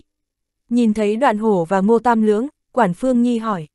Hầu tử đâu? Đoạn hổ đáp, ở trong phòng, quản phương nhi cất bước đi vào, đoạn hổ lại nhắc nhở một tiếng. Hồng nương, viên gia nói, hắn muốn yên tĩnh một chút. Quản phương nghi dừng lại, quay đầu hỏi. Hắn đã biết rồi, hai người gật đầu, ngô tam lưỡng. Vừa nói cho hắn, quản phương nghi nhìn cửa phòng đóng chặt, dường như minh bạch cái gì, không có đi qua quấy giày, than thở. Hắn muốn an tĩnh, vậy để hắn yên tĩnh một chút đi. Bất quá, tình huống các ngươi hẳn cũng nghe nói, nghiêm lập đang buộc chúng ta cút, chỉ cho chúng ta nửa ngày thu thập, kéo dài mà nói, chỉ sợ nghiêm lập sẽ nhân cơ hội làm loạn rửa hận. Ta biết trong lòng hắn không dễ chịu, trong lòng mọi người đều không dễ chịu, nhưng hiện thực còn phải đối mặt, quay đầu lại, hai các ngươi hảo hảo khuyên nhủ hắn, nắm chặt thời gian thu thập đi. Hai người gật đầu, chắp tay đưa tiến, quản phương nghi hồn bay phách lạc rời đi, những năm này, Ngưu Hữu đạo rất tốt với nàng. Bình thường hay châm chọc Ngưu Hữu đạo, nhưng tiếp xúc sâu, biết Ngưu Hữu đạo rất đáng tin, ở chung lâu đã có chút cảm tình, không phải tình yêu nam nữ, mà càng như là tình thân. Đột ngột nghe tin dữ, trong lòng nàng rất khó vượt qua, rất muốn tìm địa phương khóc lớn một hồi, thế nhưng không có biện pháp, nàng còn phải ổn định cục diện của Mao Lư Biệt Viện, còn phải chấp hành sự tình Ngưu Hữu Đạo để lại, thu xếp người Mao Lư Biệt Viện. Khi còn sống Ngưu Hữu Đạo bố trí, chỉ là vì phòng ngừa vạn nhất, không nghĩ tới thật đi tới một bước phải chấp hành này, trong lòng quản phương nghi thê lương. Mới vừa ra cửa viện, liền thấy hỏa phượng hoàng vội vã chạy tới, kéo nàng, vẻ mặt hoảng nói loạn. Hồng Nương, nghe nói đạo gia gặp nạn ở trong thánh cảnh. Quản Phương Nghi bị nàng nói trong lòng khó chịu, tuy khó chịu nhưng vẫn an ủi. Đừng lo lắng, phiêu miểu các chỉ là để tử kim động bổ sung nhân tuyển, không có đề cập tới sự tình của côn lâm thụ, trượng phu của ngươi hẳn không có chuyện gì. Tình huống không rõ mới càng khiến người ta lo lắng, hỏa phượng hoàng cũng biết tâm tình của mọi người không tốt, không biết nên nói cái gì, muốn nói lại thôi. Nghe nói từ kim động hạn chúng ta trong vòng nửa ngày phải rời đi. Quản phương nghi than thở, đạo gia không còn, từ kim động cũng không dung được chúng ta, đi thì đi. Ngươi yên tâm, chúng ta sẽ không ném ngươi mặc kệ, cùng đi với chúng ta chứ. chương 1732, người đi trà nguội một. Hỏa phượng hoàng mờ mịt, không đi cùng những người này mà nói, nàng từ lâu phản bội sư môn lại có thể đi đâu, chỉ có thể khóc, nghẹn ngào gật đầu. Quản phương nghi an ủi vài câu, để nàng trở về mau chóng thu thập. Nơi này vừa đưa hỏa phượng hoàng đi, còn chưa đi mấy bước, lại thấy viên phương mặc tăng bảo lo lắng chạy tới. Không quan tâm hỏa phượng hoàng chào hỏi, chạy đến trước mặt quản phương nhi viên phương sợ sệt nói. Hồng nương, bọn hắn nói đạo ra thật, thật sao, quản phương nhi cắn môi, yên lặng gật đầu. Viên phương run rẩy gương mặt tái xanh, làm sao có khả năng, này làm sao có khả năng. Đạo gia là người nào, luôn là đạo gia tai họa người khác, làm sao có khả năng bị người khác tai họa, cái này không thể nào.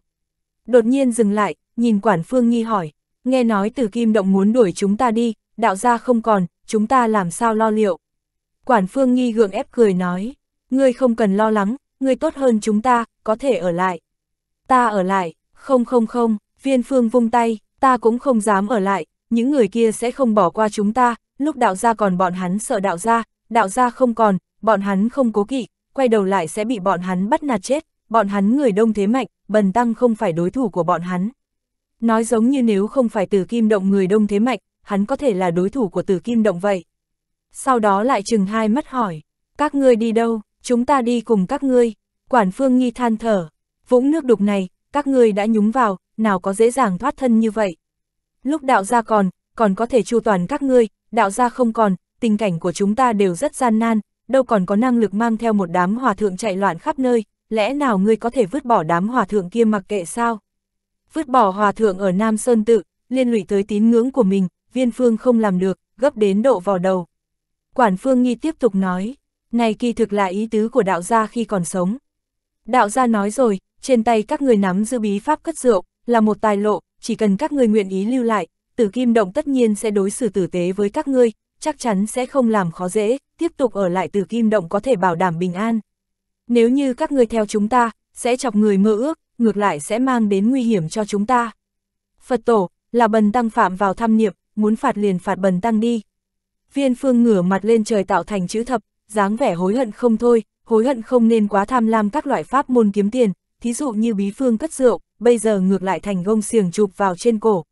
Quản phương nghi không có tâm tình mò mẫm với hắn, trực tiếp đi ra. Nàng quá hiểu yêu tăng này, hiện tại chỉ là nhất thời sám hối, quay đầu lại có cơ hội mò tiền sẽ mò ngay, chỉ cần bản tính khó rời, đoán chừng Phật tổ cũng không ngăn được. Kỳ thực có lúc nàng cũng cảm thấy kỳ quái, kỳ quái nghiêu hữu đạo dùng người không kỵ, dạng người gì cũng dám thu, loại yêu tăng muốn nhân phẩm không có nhân phẩm này thu lại làm gì, thật cần mấy hòa thượng này bưng trà rót nước, trồng trọt cây ruộng, hầu hạ ẩm thực sao. Viên phương sám hối xong thu tay, quay đầu nhìn xung quanh, phát hiện quản phương nghi đã đi từ lúc nào, cũng vội vàng rời đi, không biết muốn đi làm gì. Chết rồi, Huệ Thanh Bình ngồi khoanh chân trên giường giật mình, khó có thể bình tĩnh, truy hỏi một câu. Làm sao chết, quản phương nghi âm u lắc đầu. Không rõ, người phiêu miểu các đến bảo tử kim động bổ sung nhân viên tiến vào, chỉ nói đạo gia chết rồi, không nói vì sao chết. Nàng là cố ý đến thông báo Huệ Thanh Bình một tiếng, Huệ Thanh Bình cơ hồ không cùng người khác lui tới, một lòng tĩnh tu, thông báo một tiếng là muốn đối phương đồng thời rời đi. Chết rồi, Huệ Thanh Bình lẩm bẩm, nhưng không tính ngoài ý muốn, thánh cảnh là địa phương gì, gặp nạn không tính quá mức ngoài ý muốn, trên mặt hiện lên thần sắc thất vọng mất mát. Ta lại có thể đi đâu, các ngươi đi đi, không cần phải để ý đến ta. Nàng từng là đệ tử thiên nữ giáo, làm qua trưởng lão thiên nữ giáo, làm qua phu nhân của phản tướng, còn làm qua hoàng hậu Tống Quốc. Bây giờ là phản đồ của thiên nữ giáo, phế hoàng hậu của Tống Quốc, nếu như không phải Ngưu hữu đạo cứu giúp, thu được từ kim động che chở, chỉ sợ đã chết từ lâu rồi. Hiện tại để nàng đi, thiên hạ to lớn, nàng thật không biết bản thân có thể đi nơi nào. Quản phương nghi, cùng đi với chúng ta đi, nếu như đạo gia còn, sẽ không hy vọng nhìn thấy tỷ tỷ kết bái của mình có chuyện. Khi còn sống hắn đã làm chuẩn bị khi bản thân không về được, lo lắng hắn không còn ngươi sẽ gặp nguy hiểm, sớm có bố trí và an bài cho ngươi. Huệ Thanh Bình không nghĩ tới trước khi Ngưu Hữu Đạo đi đã làm dự định không về được, khi còn sống vẫn cân nhắc vấn đề an toàn của nàng, đây là thật nhân nghĩa. Khuôn mặt nàng khổ sở nói, đệ đệ kia của ta, ta nợ hắn nhân tình đời này là không trả nổi, kiếp này coi như xin lỗi hắn, nếu có kiếp sau, ta sẽ trả lại. Các ngươi đi đi, ta không thể đi với các ngươi, một khi thiên nữ giáo biết phong thanh, sẽ không bỏ qua cho ta, tất nhiên sẽ truy sát, ta đi cùng với các ngươi chỉ sẽ liên lụy các ngươi. Quản phương nghi, Huệ tỷ tỷ lo xa rồi, hiện tại mau chóng rời khỏi mà nói, thiên nữ giáo hẳn còn chưa biết, chỉ cần chúng ta mau chóng chạy tới địa bàn của chúng ta, thiên nữ giáo cũng không dám sằng bậy, cho nên Huệ tỷ tỷ cứ yên tâm, chúng ta cũng sẽ không cầm tính mạng của mình ra làm trò đùa. Huệ Thanh Bình trầm mặc, nàng cũng không biết bản thân nên đi nơi nào, tiếp tục lưu lại nơi này mà nói, tử kim động rất có khả năng bắt nàng, bắt nàng giao dịch với thiên nữ giáo, cuối cùng chỉ có thể yên lặng gật đầu, đáp ứng đồng thời rời đi. Con, con, con, tiếng chuông bỗng nhiên vang vọng ở trong mau lư biệt viện. Huệ Thanh Bình và Quản Phương Nhi đều quay đầu lại, kinh ngạc, không biết chuyện gì. Ngoài huyền trung đình, một đám hòa thượng Nam Sơn tự tập kết, chắp tay chữ thập cầu xin, mấy người ở hàng trước chỉnh tề như một gõ mõ. Trong đình, viên phương tự mình gõ chuông, từng tiếng chuông vang vọng. Làm sao sẽ chết, làm sao lại chết chứ? Đạo ra, không phải bần tăng không đi với các ngươi, cũng không phải bần tăng muốn tách ra các ngươi, mà là tăng chúng của Nam Sơn tự đều là một đám phàm phu tục tử, Hồng Nương cũng nói đi theo bất tiện. Đạo ra, bần tăng chỉ có thể ở đây đưa ngài đoạn đường cuối cùng, chúc ngài sớm về miền cực lạc. Gõ một cái, liền nói thầm một tiếng, viên phương lầm bầm lầu bầu, lại thỉnh thoảng lắc đầu thở dài. Quản phương nghi vội vã tới xem động tĩnh lại bị người ngăn cản, bị trưởng môn ngũ lương sơn công tôn bố ngăn, hỏi là vấn đề giống nhau. Xác nhận nghiêu hữu đạo thật chết rồi, công tôn bố cũng chỉ có thể bất đắc dĩ tiếc hận và than thở, trong lòng mờ mịt, ngũ lương sơn không có địa bàn của mình, không có nghiêu hữu đạo nâng đỡ, nên đi con đường nào. Dù sao còn có rất nhiều người phải nuôi sống, quản phương nghi biết hắn lo lắng, nói, công tôn trưởng môn nghĩ thoáng một chút, ngũ lương sơn là đạo gia tiêu phí của cải khổng lồ kinh doanh mạng lưới tình báo nhiều năm, đi tới nơi nào cũng là tiền vốn, có rất nhiều người nguyện ý tiếp thu, không sợ không có đường ra.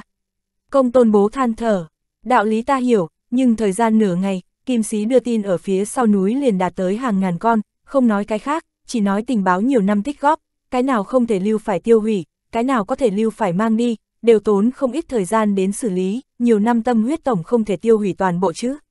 Đệ tử ngũ lương sơn ta phân bố ở các nơi trong thiên hạ, ở chỗ này nhân thủ không nhiều, thời gian nửa ngày, muốn mang đi hàng ngàn con kim xí, còn có vô số tình báo, nhân thủ không đủ a. À. chương 1733, người đi trà nguội hai. Quản phương nghi, nhanh lên đi, ta tận lực phối hợp giúp ngươi. Ai, công tôn bố chắp tay, không có biện pháp, cũng chỉ có thể như vậy, không có thời gian, xin cáo lui trước. Hắn vừa đi, lôi tông khang lại đến, cấp báo. Hồng Nương, nghiêm lập dẫn theo người đến hậu sơn, phi cầm cỡ lớn của chúng ta đều bị bọn hắn bắt. Quản phương nghi nổi giận, hắn bằng cái gì bắt, muốn cướp đoạt sao? Lôi tông khang, nghiêm lập nói, lo lắng chúng ta rời đi tay chân không sạch sẽ, trước tiên giữ phi cầm cỡ lớn làm con tin, đợi đến xác nhận chúng ta rời đi không có vấn đề gì tự nhiên sẽ trả lại cho chúng ta. Quản phương nghi chửi ầm lên, thối lắm, một khi bị bọn hắn bắt lại, chỉ sợ chúng ta ngay cả sơn môn cũng không vào được, còn có thể lấy trở về sao. Lôi tông khang, này là hiển nhiên, những phi cầm này có giá trị không nhỏ, tử kim động là bắt nạt chúng ta không có lực ngăn cản, muốn nhân cơ hội nuốt mất. Quản phương nghi dưới cơn nóng giận muốn tìm nghiêm lập nói lý, nhưng vừa đi vài bước lại dừng chân, hơi lý trí vừa nghĩ liền có thể minh bạch, đây nhất định không phải ý tứ của nghiêm lập. Tử Kim Động đã sớm đỏ mắt phi cầm của Mao Lư Biệt Việt, chỉ là trước có đạo gia chấn thủ, Tử Kim Động kiêng kỵ, không dám dễ dàng đưa tay. Nghiêm lập dám làm như vậy, sau lưng nhất định là được Tử Kim Động cho phép, hiện tại người ta là ỷ thế hiếp người, nắm đấm nhỏ hơn người ta, nói lý căn bản không có tác dụng, chỉ có thể tự rước lấy nhục, làm không tốt còn phải chịu khổ. Thất phu vô tội mang ngọc mắc tội, sự tình đến mức độ này, người Mao Lư biệt viện muốn bình yên thoát thân, sợ là không đánh đổi một số thứ là không được. Quản phương nghi hỏi, hầu tử biết không, có hỏi hắn nên làm sao không? Đối phương là người của viên cương, nàng đoán chừng đối phương hẳn là trước tiên bẩm báo qua viên cương mới phải. Quả nhiên, lôi tông khang bất đắc dĩ nói, viên gia biết rồi, hắn nói hắn muốn an tĩnh, bảo ta bẩm báo ngươi, giao cho ngươi đến xử lý. Hiện tại lại giả chết ở trong phòng, trước đây khí thế luôn đối nghịch với lão nương đi đâu rồi. Quản Phương Nghi dậm chân chửi bới, suy tư một lúc mới phất tay nói. Đi, đi tìm cung lâm sách, ta ngược lại muốn nhìn xem đường đường trưởng môn tử kim động có phải chẳng biết xấu hổ không nói đạo lý hay không. Hai người cấp tốc rời mau lư biệt viện, đi tìm cung lâm sách nói lý. Nhưng căn bản không gặp được cung lâm sách, ngay cả chỗ ở của cung lâm sách cũng không vào được, đệ tử ngăn cản nói, trưởng môn có việc xử lý, đã rời tông môn rồi. Có phải thật không ở trong tông môn hay không, không ai biết, nhưng này 10 có 8-9 phần là tìm cớ, đang thương nghị bổ sung nhân viên vào thánh cảnh, cung lâm sách có thể đi ra ngoài được sao? Thế nhưng không có biện pháp, tổng không thể mạnh mẽ xông vào chứ. Thời điểm này cứng rắn xông vào là tự tìm đau khổ. Từ đó quản phương nghi xem như xác nhận, hành vi của nghiêm lập tuyệt đối là ý tứ của tử kim động, một khối thịt mỡ lớn như thế, tử kim động đích xác là muốn nhân cơ hội nuốt xuống. Quản phương nghi không chịu bỏ qua, nhiều phi cầm cỡ lớn như thế có giá trị không nhỏ, sao có thể dễ dàng buông tha. Nàng lại cấp tốc chạy tới quy miên các, muốn mời sư phó của đạo gia Trung Cốc Tử ra mặt chủ trì công đạo, hy vọng Trung Cốc Tử nể tình đạo gia, để tử kim động dơ cao đánh khẽ. Nhưng kết quả làm người lạnh lẽo tâm gan, đừng nói gặp Trung Cốc Tử, ngay cả quy miên các cũng không thể tới gần, tử kim động hiển nhiên sớm phòng bị sự tình này, phái đệ tử ngăn cản, không cho phép quấy giày Trung Cốc Tử thanh tu. Túc lão, Trung Túc lão, quản phương nghi ở dưới chân núi bi phẫn hô to, nhưng đại môn của quy miên các đóng chặt, không có bất kỳ dấu hiệu mở ra. Mà nàng la to, rước lấy đệ tử tử kim động nghiêm khắc cảnh cáo, nếu như không đi sẽ không khách khí. Quản phương nghi bất đắc dĩ, ôm nỗi hận rời đi. Đợi nàng rời đi, văn mặc nhi ẩn thân ở chỗ tối lộ diện, muốn lên quy miên các, nhưng đệ tử thủ vệ vẫn ngăn cản nàng, ngay cả nàng cũng không cho qua, chỉ cần là người bên mau lư biệt viện đến, thì sẽ không cho qua. Văn mặc nhi đành phải ở dưới chân núi phất tay, cự an ở trên núi phát hiện liền đi xuống núi. Chuyện gì xảy ra, cự an chất vấn thủ vệ, thủ vệ trả lời, cự sư huynh, có chút sự tình trong lòng mọi người rõ ràng, người không nên hỏi ta, hỏi ta cũng sẽ không nói, nói chung đừng để chúng ta khó xử. Cự an minh bạch, không có hỏi nhiều, chỉ cùng Văn Mặc Nhi lặng lẽ giao lưu một chút. Văn Mặc Nhi rời đi, cự an thì phản hồi quy miên các. Dừng bước ở ngoài cửa lặng im một lúc, cuối cùng hắn vẫn nhẹ nhàng đi vào trong, chậm rãi quỳ ở trước mặt Trung quốc Tử, bẩm báo. Sư tổ, bên Mao Lư Biệt Viện lại xảy ra sự tình, tông môn dường như có ý bắt hết thảy phi cầm cỡ lớn của Mao Lư Biệt Viện, vừa nãy đám người Hồng Nương đến, lại bị người tông môn ngăn lại, xin sư tổ định đoạt. Trung Cốc Tử chậm rãi mở hai mắt ra, hỏi ngược lại. Vì sao bắt phi cầm cỡ lớn của bọn hắn? Cự An trầm mặc nói, Mao Lư Biệt Viện có không ít phi cầm cỡ lớn, giá trị không nhỏ. Trung Cốc Tử, đã biết có giá trị không nhỏ, người hẳn nên rõ ràng, không cần nhiều lời. Cự An nói, sư tổ, dù sao sư thúc cũng vì tông môn mà chết ở trong thánh cảnh, xin sư tổ nể tình sư thúc nói giúp Mao Lư biệt viện vài câu.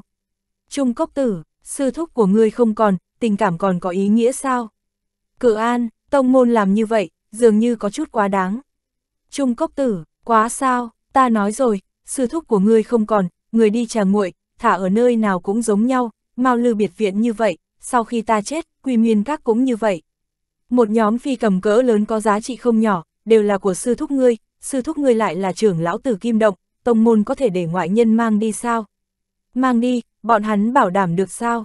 Để cho người khác, không bằng tạm gác lại tông môn. Có lẽ trên cảm tình để người khó có thể tiếp nhận, nhưng tông môn làm như vậy, là vì lợi ích của toàn bộ tông môn, nếu không làm như vậy mới gọi hồ đồ. Người bảo ta nói giúp Mao Lư biệt viện, người cảm thấy ta thân là thái thượng trưởng lão của từ Kim Động, có thể mở miệng được sao? Cự An trầm mặc, cũng minh bạch, sư tổ cũng có khó xử của sư tổ. Đi đi, Trung Cốc Tử buông tiếng thở dài, chậm rãi đóng hai mắt lại. Cự An biết, sư tổ khó được nói nhiều lời như thế, đã nói rất rõ ràng, không thể ra mặt, lại nhiều lời cũng vô ích, chỉ có thể đứng dậy rời đi. Văn Mạc Nhi không chỉ mật báo, còn tự mình cầu kiến cung lâm sách, nhưng giống nhau, nàng cũng không thấy được cung lâm sách. Cự An tận lực, Văn Mạc Nhi cũng tận lực, tuy trước mặt người Mao Lư biệt Việt, hai phu thê không nói gì, năng lực có hạn cũng không dám bảo đảm gì, nhưng sau lưng là thật tận lực. Hai phu thê cũng chỉ có thể làm được đến mức độ này, lại nhiều, làm nhiều hơn nữa cũng vô ích. Sự tình tông môn đã làm ra quyết định, năng lực của hai người cũng chỉ có thể dừng ở đây, còn nháo xuống sẽ huyên náo đến mình không cách nào đặt chân ở tử kim động, còn không có hiệu quả. Quản Phương Nghi còn muốn tận lực cứu vãn, không nói giá trị của đám phi cầm này, chúng còn là một nhóm cước lực rất tốt, nhân viên của Mao Lư Biệt Viện rút đi dùng đến, có thể đúng lúc tránh hiểm. Cái khác không nói, chỉ nói Huệ Thanh Bình, nhất định phải mau chóng để nàng chạy tới yêu ma lính, bằng không đợi thiên nữ giáo biết sự tình truy sát, kia liền phiền phức. Nàng bôn ba chung quanh, muốn tìm cao tầng tử kim động trước kia chân thành với nàng nói giúp một chút, nhưng những chuyện kia đã là quá khứ. Đầu tiên nàng từ nương bán lão không còn mị lực như năm đó. Thứ hai, những người kia đã ngồi lên vị trí cao nhiều năm, sẽ không dễ dàng vì nữ nhân mà xung động. chương 1734, biện pháp của viên cương. Cứ như vậy, người Mao Lư Sơn Trang bị vây ở tử kim động, có thể nói động tường khắp nơi, hơn nữa tứ cố vô thân. Không có biện pháp, cuối cùng không thể không tiếp nhận hiện thực, gia nghiệp phát đạt, nửa ngày rất gấp, sau khi vấp phải chắc trở quản phương nghi không thể không dục mọi người mau chóng thu thập. Có chút gia sản rất đáng tiền, nhưng thể tích lớn bất tiện mang theo, cuối cùng cũng chỉ có thể bỏ qua, chỉ có thể tận lực thu thập một chút đồ vật có thể mang đi. Viên cương một mình muộn ở trong phòng chờ đợi, một mình chờ đợi. Hắn chờ tin tức của Ngưu Hữu Đạo, hắn không tin bằng bản lĩnh của đạo gia, một người ngang dọc giang hồ, mưu định bát phương có thể dễ dàng chết đi như vậy, đặc biệt là còn có thế thân kia tồn tại, cho nên hắn chờ. Hắn tin tưởng, chỉ cần đạo gia còn sống, thì nên biết tin mình qua đời truyền ra sẽ mang đến dạng ảnh hưởng gì. Chỉ cần đạo gia còn sống, hẳn là sẽ không bỏ mặc, sẽ có tin tức đúng lúc đến. Bằng quan hệ và cảm tình của hắn và đạo gia, hắn tin tưởng, coi như sự tình lại bí ẩn, dính đến loại tình huống này, đạo gia giấu ai cũng sẽ không giấu hắn. Hắn phán đoán là chuẩn xác, thời điểm toàn bộ Mao Lư biệt viện đều hoảng sợ thu thập hơn nữa không biết tiền đồ ở đâu, thời khắc nửa ngày quy định sắp tới, một con kim xí giáng lâm. Viên ra, tin tức ngài chờ đến rồi. Đoạn hổ gõ cửa bẩm báo một tiếng. Cọt kẹt, cửa mở, viên cương vọt ra, đoạt lấy thư, cấp tốc mở ra kiểm tra. Đoạn hổ và ngô tam lưỡng nhìn nhau, hai người cũng không rõ lai lịch của mật thư, nhưng trước đó hai người được viên cương phân phó, một khi kim sĩ ở phương diện kia có tin tức, lập tức báo cho hắn, không được có bất kỳ chậm trễ. Xem qua nội dung trong thư, lại lặp đi lặp lại xác nhận chữ viết, không sai, là của đạo gia, không giả được. Cũng chính là nói, đạo gia không chết, đạo gia còn sống. Lại lần nữa xác nhận nội dung bàn giao trong thư, viên cương nỗi lòng đại định, thở ra một hơi dài, như chút được gánh nặng, giấu thư vào trong ngực, trầm giọng nói. Hồng Nương ở đâu, lập tức bảo nàng tới gặp ta. Vâng, ngô tam lưỡng lĩnh mệnh cấp tốc rời đi. Không bao lâu, quản phương nghi đến, hai người ở trong đình chạm mặt, khuôn mặt quản phương nghi đầy oán ý, lạnh lùng nói. Ngươi rốt cục cam lòng ra rồi, có chút hỏa khí, bình thường cùng nàng không ai nhường ai, nhưng khi nước đến chân thì có đầu giúp cổ, để một nữ nhân như nàng ra mặt ứng phó, nhận hết khó dễ. Viên cương nhìn xung quanh một chút, phất tay nói, các ngươi lui xuống trước đi. Đoạn hổ và ngô tam lưỡng nhìn nhau, chắp tay lĩnh mệnh, trong tiểu viện chỉ còn lại hai người. Quản phương nghi, đều thời điểm này, người còn lén lén lút lút làm gì? Tử kim động hạn chúng ta nửa ngày rời đi, lại không đi, người ta sẽ không khách khí. Viên cương, không đi nữa, người mau lư biệt viện ở đây, ai cũng không đuổi được chúng ta. Quản phương nghi, người đi trà nguội, người tốt nhất đừng đùa tính tình, đừng tưởng người ta sẽ khách khí, bây giờ còn có thể nhẹ nhàng mời chúng ta rời đi, lại kéo dài, sợ là sẽ mặt mày xám xịt cút đi. Đồ đệ của nghiêm lập là ai giết, tuy không có chứng cứ, nhưng trong lòng mọi người rõ ràng, nghiêm lập đang lo không tìm được lý do trả thù kia kìa. Viên cương, ta không tùy hứng, khi còn sống đạo gia có an bài khác. Quản phương nghi sững sờ, chợt thẹn quá hóa giận nói. Đã sớm có an bài, vì sao không nói sớm, hại ta cầu ra ra cáo bà nội khắp nơi. Viên cương, trước đó không nói, tự nhiên là có đạo lý không nói. Quản phương nghi cũng không dài dòng, đến lúc này rồi, không phải thời điểm đấu võ mồm, chính sự quan trọng, hỏi. An bài ở đâu, viên cương, ngươi lập tức đi theo ta, đi theo ta gặp một người. Quản phương nghi ngạc nhiên, gặp người, thời điểm này rồi, còn gặp người nào? Viên cương lắc đầu, không biết, khi còn sống đạo gia an bài, nếu như gặp phải phiền phức, lập tức đi gặp người này, người này có thể giúp chúng ta hóa giải hết thảy phiền phức. Quản phương nghi tức giận đến dậm chân nói, ngươi có bị bệnh không? Hiện tại mới nói, vậy đi nhanh đi, còn dây dưa cái gì? Viên cương không vội hỏi, phi cầm cỡ lớn bị tử kim động khống chế rồi. Quản phương nghi than thở, biết rõ còn hỏi, tử kim động nói rõ muốn thừa dịp cháy nhà đi hôi của, muốn nuốt một mình rồi. Viên cương ngẩng đầu nhìn sắc trời, đường có chút xa, không ngừng không nghỉ đoán chừng ít nhất cũng phải nửa ngày, nhất định phải dùng phi cầm thay đi bộ mới có thể đúng lúc chạy tới. a quản phương nghi tức giận nói, trước đó ngươi lại còn dây dưa làm gì, bây giờ phi cầm cỡ lớn bị người khống chế, muốn đuổi chúng ta ra khỏi cửa, nửa ngày. Qua lại ít nhất là một ngày, ta cầu người khắp nơi, nhưng không một ai thèm gặp, từ đâu tới một ngày thư thả hả. Viên cương không nói hai lời, xoay người trở về phòng, trở ra, trên tay cầm tam hống đao, nhanh chân rời đi. Đi, đi gặp cung lâm sách với ta. Thấy hắn cầm vũ khí, quản phương nghi cả kinh, bước nhanh đuổi tới.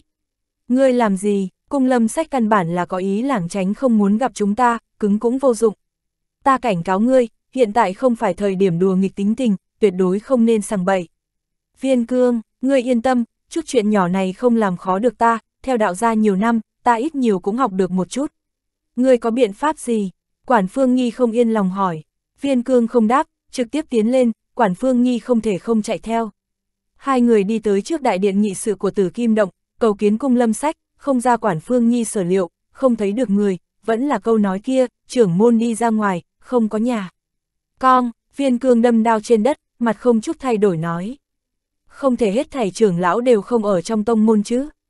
Làm phiền thông báo người có thể làm chủ một tiếng, nói mau lư biệt viện ta nguyện không trả giá dâng hết thảy phi cầm cỡ lớn cho tử kim động. Nhưng sự tình rút đi mong thư thả ba ngày, thực sự là thu thập bất tiện, trong lúc nhất thời khó có thể thu thập thỏa đáng.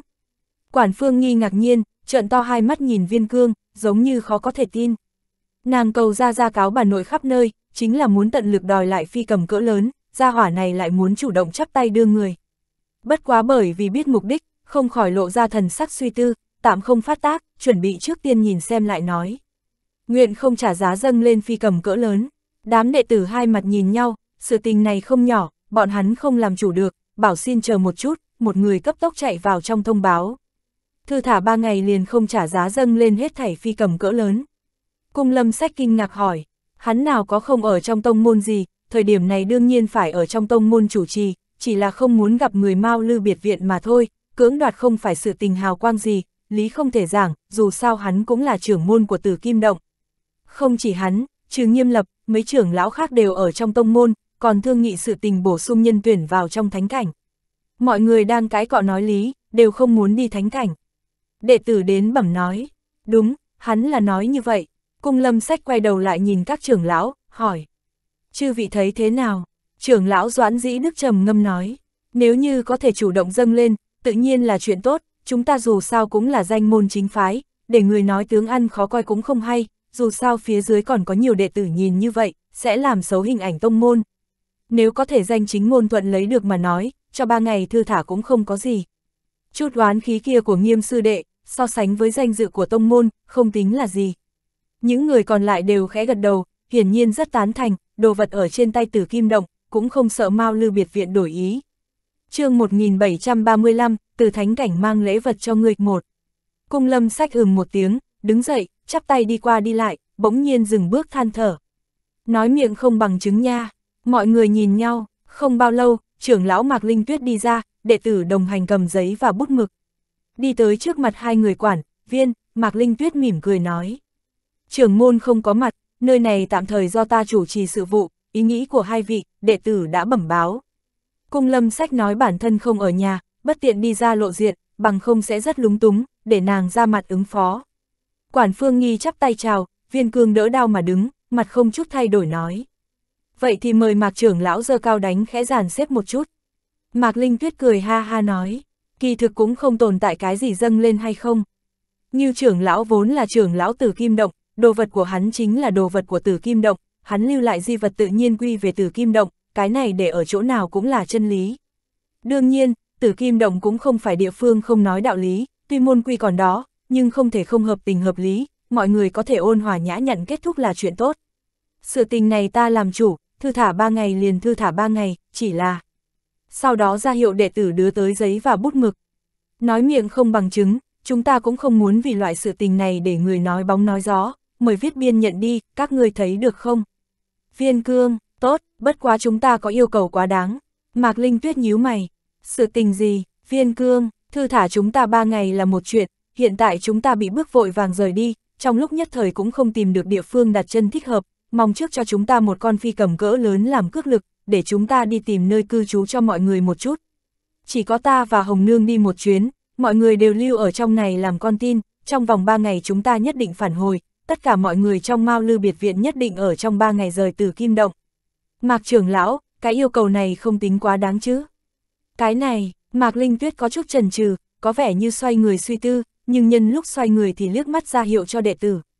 Đệ tử kia hiểu ý, lặng yên rời đi, đi vào bẩm báo cho cung lâm sách, xin cung lâm sách định đoạt. Dù sao đối phương cũng là muốn dẫn đi một con phi cầm cỡ lớn, thứ này có giá trị không nhỏ, vạn nhất một đi không trở lại mà nói, là sẽ phải gánh trách nhiệm, không thể dễ dàng làm chủ. Cung lâm sách không có đáp ứng ngay, dù trong lòng đã có ý định, nhưng vẫn hỏi ý kiến của trưởng lão khác thế nào. Đối phương đưa ra yêu cầu hợp lý, có người và vật phẩm làm tin, không ít người đều là thủ hạ tâm phúc của viên cương và quản phương nghi, không đến nỗi bỏ đi không thèm để ý. Coi như bỏ đi không thèm để ý, một con phi cầm cỡ lớn có thể đổi lấy danh chính ngôn thuận tiếp thu rất nhiều phi cầm cỡ lớn khác, cũng không tính chịu thiệt. Các trưởng lão đều đáp ứng, cung lâm sách theo ý kiến của mọi người. Tên đệ tử kia lại lộ diện, nhìn Mạc Linh Tuyết khẽ gật đầu, trong lòng Mạc Linh Tuyết hiểu rõ, xoay người nói. Được rồi, ta sẽ phá lệ một lần, duỗi ngón tay ra hiệu đệ tử nâng giấy và bút mực tới, để hai người viết chứng từ. Viên cương muốn cất bước tiến lên, quản phương nghi đưa tay bắt lấy cánh tay hắn, viên cương quay đầu lại nhìn nàng, đọc hiểu ánh mắt của quản phương nghi, dường như là hỏi, người thật muốn như vậy, có chắc chắn hay không? Viên cương hất tay nàng, đi tới cầm bút viết xuống chứng từ. Mạc Linh Tuyết lại nhìn quản phương nghi, nếu là hai người các ngươi rời đi, Hồng Nương không ngại ký tên một chút. Quản phương nghi có chút do dự, viên cương dục, thời gian có hạn, nhanh một chút đi, lúc này cũng chỉ có thể tin viên cương, quản phương nghi tiến lên ký tên. Cầm chứng từ nhìn kỹ, Mạc Linh Tuyết thỏa mãn nở nụ cười, thu chứng từ cẩn thận, tự mình mang hai người đi một chuyến, tự mình nói rõ với nghiêm lập. Nghe được phải thư thả hơn ba ngày, còn phải mượn dùng một con phi cầm cỡ lớn, nghiêm lập khá bất mãn, nhưng đây là tông môn quyết định, hắn cũng chỉ có thể vâng theo. Mượn dùng được phi cầm, quản phương nghi cấp tốc căn dặn người mau lư biệt viện, báo cho nhiều thêm ba ngày thư thả, sau đó mới cùng viên cương bay lên không. Không ngừng không nghỉ phải chạy nửa ngày, mượn dùng phi cầm chỉ ít sẽ tiết kiệm được hơn nửa thời gian. Từ trình độ nào đó mà nói, người muốn gặp cách tử kim động không xa, bất quá thời điểm hai người tới mục đích sắc trời đã tốt. Dưới ánh trăng, phi cầm mang theo hai người rơi vào trên một đỉnh núi. Trên đỉnh núi đã có người chờ đợi, một người đứng chắp tay ở dưới một cây đại thụ, yên tĩnh nhìn trăng. Hai người rơi xuống đất nhìn nhau, sau đó cùng nhau nhìn chằm chằm người đứng chắp tay, quản phương nghi hỏi viên cương. Là ai? Người kia nhấc tay kéo xuống mặt nạ, sau đó chậm rãi xoay người, vẻ mặt mỉm cười. Các ngươi tới rồi, viên cương và quản phương nghi sừng sốt, đặc biệt là quản phương nghi, càng giống như gặp ma, pháp nhãn nhìn rõ dung mạo của đối phương. Mặt mũi quen thuộc, nụ cười quen thuộc, thanh âm quen thuộc, trừ nghiêu hữu đạo, còn có thể là ai? Đạo gia, quản phương nghi lấy lại tinh thần đột nhiên phát sinh tiếng thét kinh hãi, tựa như tiểu nữ hài chạy đi, hưng phấn giống như bị điên, trực tiếp nhào vào trong lòng đối phương, ôm nghiêu hữu đạo hôn một trận. Nghiêu hữu đạo bị nàng nháo trở tay không kịp, lần đầu thấy nữ nhân này trắng trợn không kiêng rẻ như vậy, nhiệt tình có chút quá mức, bị nàng ôm hôn cuồng nhiệt, ngay cả môi cũng không buông tha, cái lưỡi thơm tho muốn cậy ra hàm răng của hắn chui vào trong miệng. Không nghĩ tới đối phương phản ứng lớn như thế, Ngưu Hữu Đạo có chút không chịu nổi, ngậm chặt miệng, muốn đẩy nàng ra. Ai biết quản phương nghi ôm chặt hơn, kiếng mũi chân vòng cánh tay treo ở trên người hắn, còn khóc nức nở nói. Vương bắt đản, người dọa chết ta rồi. Thật khóc, nước mắt ào ào, trước đó ủy khuất sường như rốt cuộc tìm được địa phương phát tiết, rốt cục có thể thả xuống kiên cường làm nữ nhân, dám yên dám hận.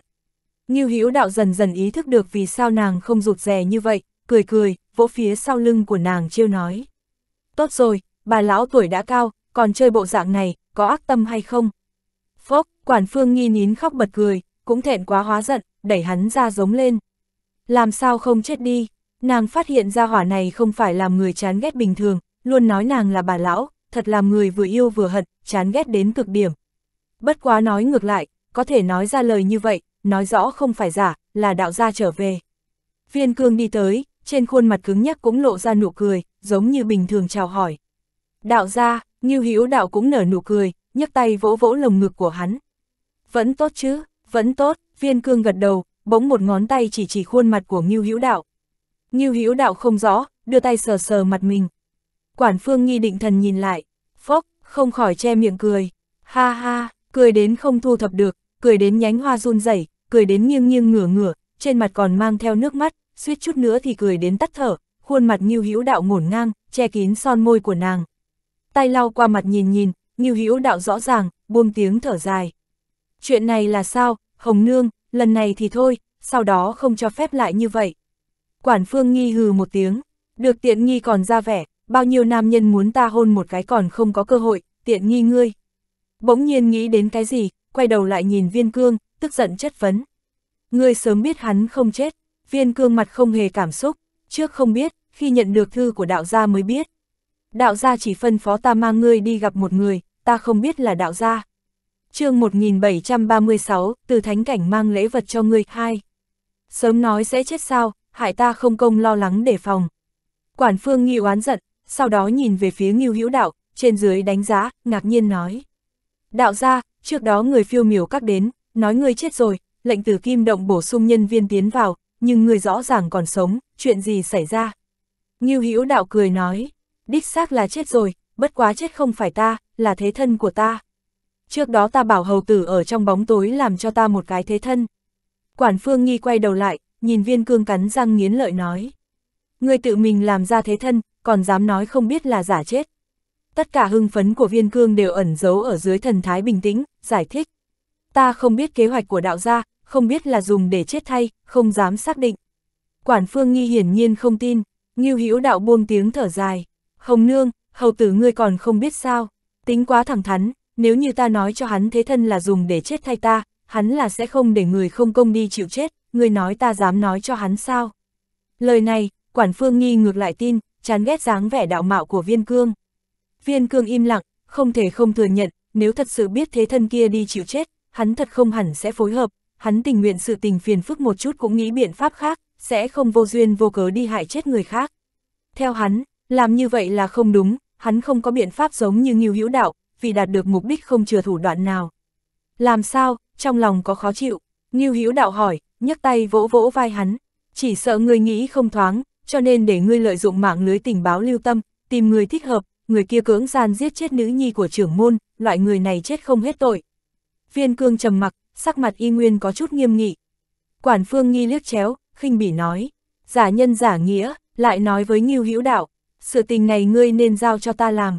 Ngưu Hữu Đạo, người bên ngươi, lúc đó ta không dám bảo đảm phải chăng hoàn toàn không có vấn đề, sự tình này không phải chuyện nhỏ, phải cẩn thận một chút mới tốt. Quản Phương Nghi bất mãn nói thầm, nói cho cùng là không tín nhiệm ta chứ gì. Ngưu Hữu Đạo cười ha ha nói, không tín nhiệm ngươi, thì sẽ không để hầu tử mang ngươi tới gặp ta. Sự tình đã phát sinh, lại nói cái gì cũng vô dụng, viên cường cũng biết mình giảng đạo lý giảng không thắng Như Hữu Đạo, nên hỏi. Đạo ra, người trong thánh cảnh đều cho rằng ngươi đã chết rồi sao? Như Hữu Đạo khẽ gật đầu, lời này là nhắc nhở quản phương nghi, lo lắng nói. Đã như thế, chẳng phải ngươi không thể lộ diện, bằng không thánh cảnh biết bị ngươi lừa dối, sao có thể buông tha ngươi?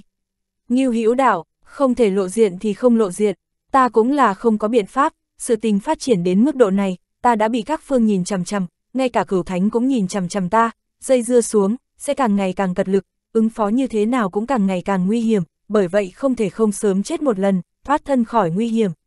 Hiện trường im lặng một thoáng, quản phương nghi đại khái đã hiểu vì cái gì nói để hầu tử dẫn nàng tới gặp hắn chính là tín nhiệm nàng, lại thử hỏi. Đạo gia có thể mang thế thân vào thánh cảnh, lại có thể từ thánh cảnh đi ra, trong thánh cảnh có phải có người giúp đỡ hay không? Ừm, Ngưu Hữu đạo gật đầu, nhưng chuyển hướng đề tài. Vừa nãy ngươi khóc suốt mướt, như thế nào, tử kim động làm ngươi ủy khuất. Tạm thời không muốn đề cập xa như lai, có chút sự tình không phải vấn đề tín nhiệm hay không, mà là vấn đề có thể chu toàn hay không. Có chút sự tình biết quá nhiều, sẽ ảnh hưởng phong cách hành sự của một người, thí dụ như vô tình gặp xa như lai hành vi có thể thất thường hay không, dễ dàng để người nhìn ra dị thường, không bằng thuận theo tự nhiên. Quản phương nghi biết hắn không muốn nói thì có hỏi cũng không ra, liền không hỏi nữa, hừ nói. Tử kim động khinh người quá đáng, tin người qua đời vừa đến, nghiêm lập liền không thể chờ đợi được. Nàng nói tình huống một chút, Ngưu Hữu đạo mỉm cười. Sự tình trong dự liệu mà thôi, không có gì ghê gớm, còn có thể cho các ngươi một con đường sống, không tính là quá đáng rồi. Quản phương nghi trừng mắt, nghiêm lập hùng hổ dọa người, cùng lâm sách tránh mà không gặp, ngay cả sư phó của ngươi cũng không chịu lộ diệt, phi cầm cỡ lớn của chúng ta bị đoạt hết, tử kim động từ trên xuống dưới đối xử với chúng ta như thế, ngươi còn cười được. Ngưu Hữu đạo vẫn mỉm cười, đứng ở lập trường của người ta, là không làm sai cái gì, có thể lý giải. Tốt rồi, đừng nóng giận, sự tình này ta đến xử lý. Quản phương nghi, ngươi ngược lại bình thản, ngươi đứng ở bên nào hả? Đám phi cầm kia, ta và hầu tử viết xuống chứng từ đưa cho người ta, hiện tại ngươi lại không thể lộ diện, làm sao muốn trở về? Ngưu Hữu đạo, ta đã trở về, là của chúng ta, ai cũng không lấy được, yên tâm, ta đến xử lý. Bởi vì chịu ủy khuất từ từ kim động, quản phương nghi bất mãn quệt miệng, bất quá liên tiếp hai câu ta đến xử lý đã đủ để quét sạch mù mịt trong lòng nàng, đạo gia trở về, đều cảm thấy các loại lo âu và quấy nhiễu trước đó không tính là vấn đề gì. Thấy nàng không cao hứng, Ngưu Hữu đạo cười nhạt, gỡ xuống túi vải, từ trong đó lấy ra một tảng đá lớn hơn nắm đấm, đưa cho nàng. Đừng nóng giận, cho ngươi, từ trong thánh cảnh mang lễ vật ra cho ngươi. Quản phương nghi nhất thời hứng thú, sau đó phát hiện chỉ là một tảng đá, lại bất mãn nói. Một tảng đá vụn, tính là lễ vật gì? Bỗng nhiên phát hiện trọng lượng không đúng, trong tay quơ quơ, kinh ngạc nói. Bên trong có đồ vật khác, nói xong muốn phá ra xem, Ngưu Hữu đạo đưa tay cản lại.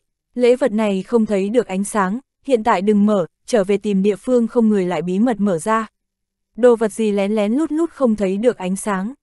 Quản phương nghi hồ nghi, nàng thi pháp điều tra nội bộ, xác nhận có đồ vật, nhưng không phải đồ vật bản thân kiến thức qua, không biết là cái gì. Ngưu Hữu đạo trêu nói, đồ vật đáng giá, vừa nghe đáng giá, tinh thần quản phương nghi tỉnh táo, nhưng ngoài miệng khinh thường nói. Có thể đáng giá bao nhiêu? Ngưu Hữu đạo ha ha, biết ngươi thấy tiền sáng mắt, yên tâm đi, đáng giá hơn tất cả phi cầm cỡ lớn gộp lại. Quản phương nghi giật mình, thật không, đừng có gạt ta, thật trăm phần trăm, trở về xem qua, ngươi liền biết, Ngưu Hữu đạo vẫn ung dung trêu chọc, tiện tay đưa túi cho viên cương, căn dặn. Cất giữ cẩn thận, không thể sai sót, viên cương tiếp nhận mới phát hiện, tảng đá đồng dạng không chỉ một viên ở trong tay quản phương nghi, trong bọc còn có một cặp, trong lòng nắm chắc rồi, đoán chừng đạo gia đang hống nữ nhân kia vui vẻ. Bất quá có thể để đạo gia mang theo bên người, hẳn không phải vật vô dụng, buộc chặt túi vải, treo ở trên người. Nghe nói là đồ vật rất đáng giá, quản phương nghi vội vàng cất kỹ, chờ mong trở về mở ra nhìn xem là lễ vật gì, lại hỏi. Đạo gia, tiếp đến phải làm sao? Ngưu hữu đạo, tin ta qua đời đã truyền ra, vậy trước tiên thu thập lòng người, xử lý sự tình từ kim động trước. Quản phương nghi, làm thế nào? Ngưu hữu đạo, trước tiên gặp gỡ cung lâm sách, ổn định tử kim động lại nói. Hai người đồng thời giật mình, quản phương nghi vội nói.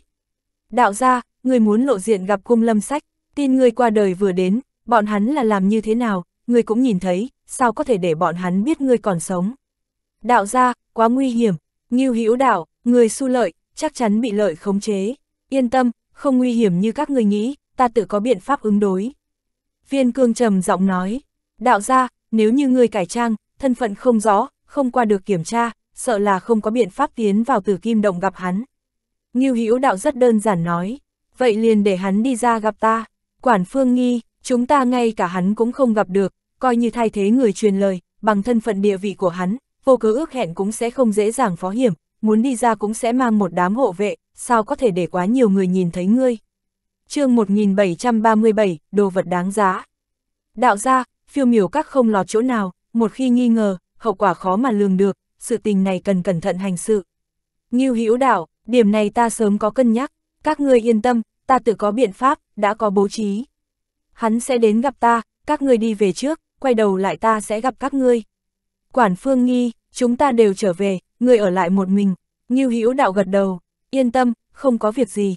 Không vận dụng nhân thủ của Mao Lư biệt viện, liền có thể gọi cung lâm sách ra, nói rõ còn có người phối hợp đạo gia hành sự. Quản Phương Nghi và Viên Cương nhìn nhau, phát hiện đạo gia càng ngày càng làm cho người ta cảm giác sâu không lường được. Đạo gia làm sự tình gì đều sẽ không bắn tên không đích, từ trước đến giờ trong lòng hiểu rõ, đạo gia đã phân phó như vậy, hai người đành phải tuân lệnh chấp hành, leo lên phi cầm rời đi. Nhìn hai người rời đi, nhưng Ngưu Hữu Đạo không có rời đi, dưới ánh trăng đứng đó, lại lần nữa đeo lên ngụy trang. Trở lại từ kim động, trả phi cầm cỡ lớn cho nghiêm lập, hai người gặp mặt Ngưu Hữu Đạo trong lòng đại định, không còn để ý sắc mặt của nghiêm lập, biết sự tình phía sau Ngưu Hữu Đạo sẽ xử lý, nghiêm lập căn bản không phải đối thủ của đạo gia. Bất quá sắc mặt của nghiêm lập quả thật làm cho người căm tức, hai người rất chờ mong nghiêm lập nhảy nhót càng hăng, muốn nhìn đạo gia làm sao thu thập đối phương. Trở lại Mao Lư biệt viện, hai người trở về đình viện của mình. Động viên lòng người một chút, quản phương nghi lập tức tiến vào phòng mình, đóng chặt cửa sổ, không thể chờ đợi được muốn xem lễ vật của Ngưu Hữu Đạo đưa cho mình. Ngưu Hữu Đạo nói lễ vật này rất đáng giá, hơn nữa còn đáng giá tất cả phi cầm cỡ lớn gộp lại, một đường trở về, vẫn bị câu lòng ngứa ngáy, nếu không phải Ngưu Hữu Đạo bàn giao không thể cho người khác nhìn thấy, sợ là nàng ở trên đường đã mở ra xem. Nói cách khác, nhìn thấy Ngưu Hữu Đạo, biết Ngưu Hữu Đạo còn sống, Mao Lư Sơn Trang gặp phải phiền phức làm người sứt đầu mẻ chán đã bị nàng quên hết, không còn chút lo lắng, tâm tư quy về nữ nhân, đặt ở trên lễ vật. Đối với tu sĩ mà nói, thiên hạ này còn có đồ vật gì đáng giá hơn một đám phi cầm của Mao Lư biệt viện. Ở dưới ánh đèn, quản phương nghi nâng tảng đá lặp đi lặp lại kiểm tra, thật đáng giá như vậy mà nói, chẳng phải là nói tảng đá này còn đáng giá hơn một tấm thiên kiếm phù. Đến tột cùng là vật gì?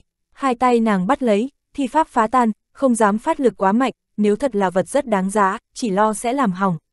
Răng rắc một tiếng, ở dưới pháp lực ảnh hưởng, vỏ tảng đá nứt ra, hơi tách ra một chút khe hở, có hồng quang từ trong khe hở thẩm thấu ra, mang theo cảm giác hoạt tính. Vừa nhìn thấy bảo quang, hai mắt quản phương nghi tỏa sáng, tính toán lần này như hữu đạo hẳn không lừa gạt mình, thật có khả năng là bảo bối đáng tiền. Vỏ đá chậm rãi mở ra, hồng quang nhu hòa, khuếch đại phạm vi chiếu sáng. Cái đồ vật gì, quản phương nghi nói thầm, cầm ra một vật to bằng nắm tay, hình trái tim, vỏ ngoài giống như thô giáp, tia sáng nhu hòa chính là từ trong nội bộ thẩm thấu ra, hơn nữa tỏa ra mùi thơm nhàn nhạt, nhạt, mùi thơm này làm tinh thần người ta sảng khoái.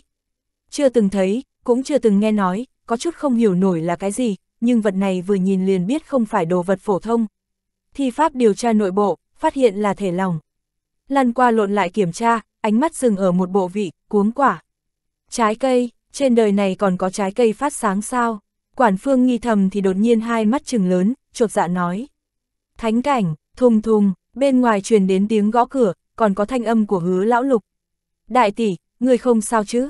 Quản phương nghi kinh hồn, luống cuống tay chân, tranh thủ dùng vỏ đá bao phủ trái cây lại, tia sáng biến mất. Cầm tảng đá trong tay, quản phương nghi hoảng loạn, hết nhìn đông tới nhìn tây, dường như không biết nên giấu chỗ nào, cuối cùng bước nhanh đến bên giường, kéo chăn, che tảng đá lại.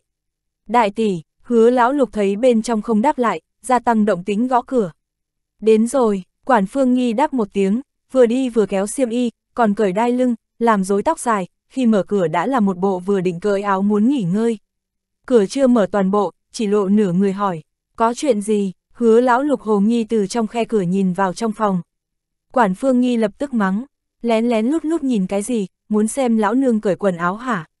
Bên ngoài lập tức truyền đến tiếng cười trộm của mấy lão nhân phù phương viên. Hứa lão lục lúng túng, vội vàng khoát tay nói, đừng, lời này của ngài ta tiêu thụ không nổi, ta không có nhã hứng kia, muốn xem nữ nhân cởi quần áo ta sẽ ra bên ngoài tìm. Quản phương nghi chừng hai mắt, cạch, cửa triệt để mở ra. Lão lục, người có ý gì, cảm thấy ta còn không bằng những gái lầu xanh kia phải không? Chọc mù mắt chó của ngươi, nhìn cũng không được, không nhìn cũng không được, cùng nữ nhân không có cách nào giảng đạo lý, hứa lão lục lập tức chắp tay xin tha. Đại tỷ, miệng hạ lưu tình, vừa nãy ta thấy trên cửa sổ có hồng quang nhuộm đấm, lo lắng có việc, hỏi một chút mà thôi, lo lắng ngươi an toàn, không có ý khác. Mắc mớ gì tới ngươi, cút, quản phương nghi mắng xong tiện tay đóng cửa, hứa lão lục quay đầu lại rời đi, gãi gãi đầu. Một bên có người dính sát vào, chế diễu nói, nhìn được hồng nương cởi quần áo không, đẹp không, cút, hứa lão lục tức giận đạp một cước, nhưng quản phương nghi ở trong phòng nhấc tay che ngực, dáng vẻ sốt sắng, bước nhanh đi tới bên giường ngồi xuống, lại đưa tay sờ sờ vật ở trong chăn. Còn đáng giá hơn một đám phi cầm cỡ lớn cộng lại, trái cây biết phát sáng, hơn nữa đến từ thánh cảnh, còn không cho ngoại nhân nhìn thấy. Quản phương nghi tim đập ra tốc, đại khái hoài nghi là đồ vật gì rồi. Miệng phát khô, lại dậy đi tới cửa, từ trong khe cửa nhìn bên ngoài một chút, xác nhận không có khác thường, mới trở về bên giường, vén một góc chăn lên, đè thấp thân thể tiến vào trong chăn, tình hình giống như phản ứng của Ngao Phong khi lần đầu tiên nhìn thấy. Sờ soạn tảng đá, lại mở ra lần nữa, hồng quang tỏa ra ở trong chăn. Xem đi xem lại, ngửi ngửi, lặp đi lặp lại xác nhận, tim đập ra tốc, nói thầm. Người xấu kia sẽ không phải cho lão nương vô lượng quả chứ. Này làm sao có khả năng, hắn làm sao có khả năng trộm được vô lượng quả, có khả năng hay không, nàng không dám bảo đảm, nhưng bản lĩnh của Ngưu Hữu đạo nàng là biết, đồ vật người khác không lấy được, không dám bảo đảm Ngưu Hữu đạo cũng không lấy được, những phi cầm kia của Mao Lư biệt viện là làm sao đến.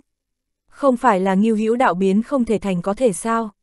Nhưng xác thực chưa từng thấy, bộ dạng của loại cấm vật này ra sao cũng chưa từng nghe nói, thực không dám xác nhận. Nhưng đồ vật trong tay, từ các loại dấu hiệu đến xem, cộng thêm Ngưu Hữu đạo đề điểm, quả thực rất có khả năng là cấm vật kia. Vương bát đản, đồ vật gì cũng không nói rõ ràng. Người ở trong chăn chửi bới liên tục, nếu thật sự là cấm vật kia, lễ vật này thật cho nàng một niềm vui to lớn. Bởi vì kinh hỉ, nàng biết đêm nay mình sẽ suy nghĩ lung tung cả đêm, đừng hòng nghỉ ngơi được, căn bản không cách nào an thần.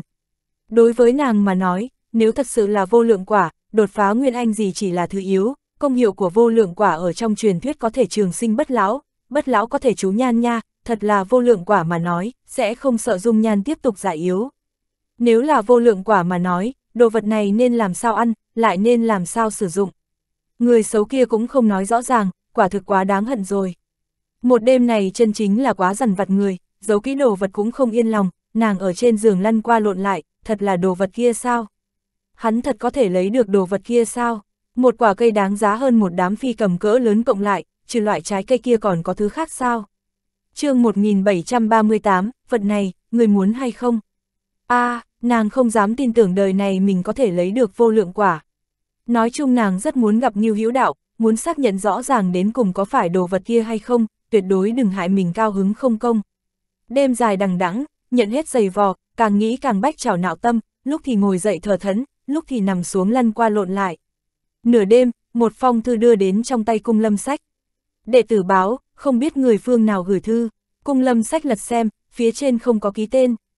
Vì phòng có trò lừa, hắn cẩn thận mở thư, dưới hào quang, nhìn nội dung trong thư, lông mày dần dần nhăn lại. Chậm rãi khép thư lại, suy tư một lúc, cuối cùng đứng dậy, gọi đệ tử tới thì thầm, bí mật phân phó một phen. Sau đó, ba con phi cầm cỡ lớn thừa dịp bóng đêm bay đi, cung lâm sách bảo là muốn tự mình tuần sát từ kim động, kỳ thực là mang theo một đám hộ vệ rời đi. Đệ tử trong môn cũng không nghi ngờ có vấn đề gì, trưởng môn tự mình tuần sát biện pháp phòng vệ của tử kim động là sự tình rất bình thường, bình thường sẽ không nói trước, bao quát trưởng lão trong môn phái cũng có khi làm như vậy, mục đích là để phòng đệ tử đang làm nhiệm vụ lười biếng. Trên đường rời đi, trong lòng cung lâm sách nghi ngờ tầng tầng. Thư là phiêu miểu các gửi, nói có mật sự gọi hắn tới gặp, cũng căn dặn hắn đừng để lộ bí mật, một người đi tới mục đích là được. Tùy tiện một phong thư nói là phiêu miểu các, liền muốn gặp hắn, này không hiện thực, nhưng trên thư có dấu ấn đặc thù của phiêu miểu các, khó có thể giả mạo, làm hắn không thể không hoài nghi, muốn tới tìm tòi hư thực. Sau một trận phi hành, lúc tới gần mục đích, cung lâm sách bắt đầu bố trí. Ba con phi cầm mang theo người phân tán, lệnh đệ tử thầm bố trí ở xung quanh mục đích, làm tốt chuẩn bị vạn nhất trợ giúp và tiếp ứng, sau đó hắn mới một mình bay tới mục đích. Dù người hẹn đánh chiêu bài của phiêu miểu các, dù ở tu tiên giới dám giả mạo phiêu miểu các khả năng không lớn, nhưng dưới tình huống không thể hoàn toàn xác nhận thật giả, hắn làm sao có khả năng một mình đi tới mạo hiểm. Không chỉ an bài nhân thủ dự phòng bất chắc, trước khi tới trên người hắn còn chuẩn bị vài tờ thiên kiếm phù phòng ngừa vạn nhất. Bay lượn qua mấy đỉnh núi, sau đó trực tiếp hạ xuống, chính là địa phương lúc trước quản phương nghi và viên cương tới. Người bọn hắn gặp vẫn còn, tĩnh lặng chờ đợi ở dưới đại thụ. Ánh mắt cung lâm sách khóa chặt người đứng chắp tay dưới cây, trong tay áo, ngón tay đã kẹp một tấm thiên kiếm phủ đề phòng, lên tiếng thỉnh giáo nói. Đêm khuya triệu kiến, không biết tôn giá là quý nhân nào của phiêu miểu các. Nghiêu Hữu đạo chậm rãi xoay người, ánh mắt nhìn đối phương, xác nhận người tới là cung lâm sách, nở nụ cười. Trưởng môn có khỏe không? Nghe thanh âm quen tai, cung lâm sách hầu nghi nói. Tôn giá là ai? Ngưu Hữu đạo nhấc tay, kéo xuống ngụy trang trên mặt, lộ ra chân dung, ánh trăng xuyên thấu qua tán cây vừa vặn chiếu vào trên mặt hắn. Cung lâm sách sững sờ, sau đó hai mắt trợn to, thất thanh nói. Ngưu Hữu đạo, là ngươi, ngươi, ngươi không phải, suyệt, Ngưu Hữu đạo ra hiệu hắn nhỏ giọng, cung lâm sách kinh nghi bất định, chậm rãi cất bước tiến lên, quan sát tỉ mỉ. Ngưu Hữu đạo, trưởng môn không cần hoài nghi, không giả được, nghe thanh âm quen tai, không sai, chính là thanh âm của Ngưu Hữu đạo. Cung lâm sách khó có thể tin nói, làm sao sẽ là ngươi, ngươi không phải chết ở trong thánh cảnh sao? Ngưu Hữu đạo nói, có gì phải kinh ngạc, chỉ là giả chết thoát thân mà thôi.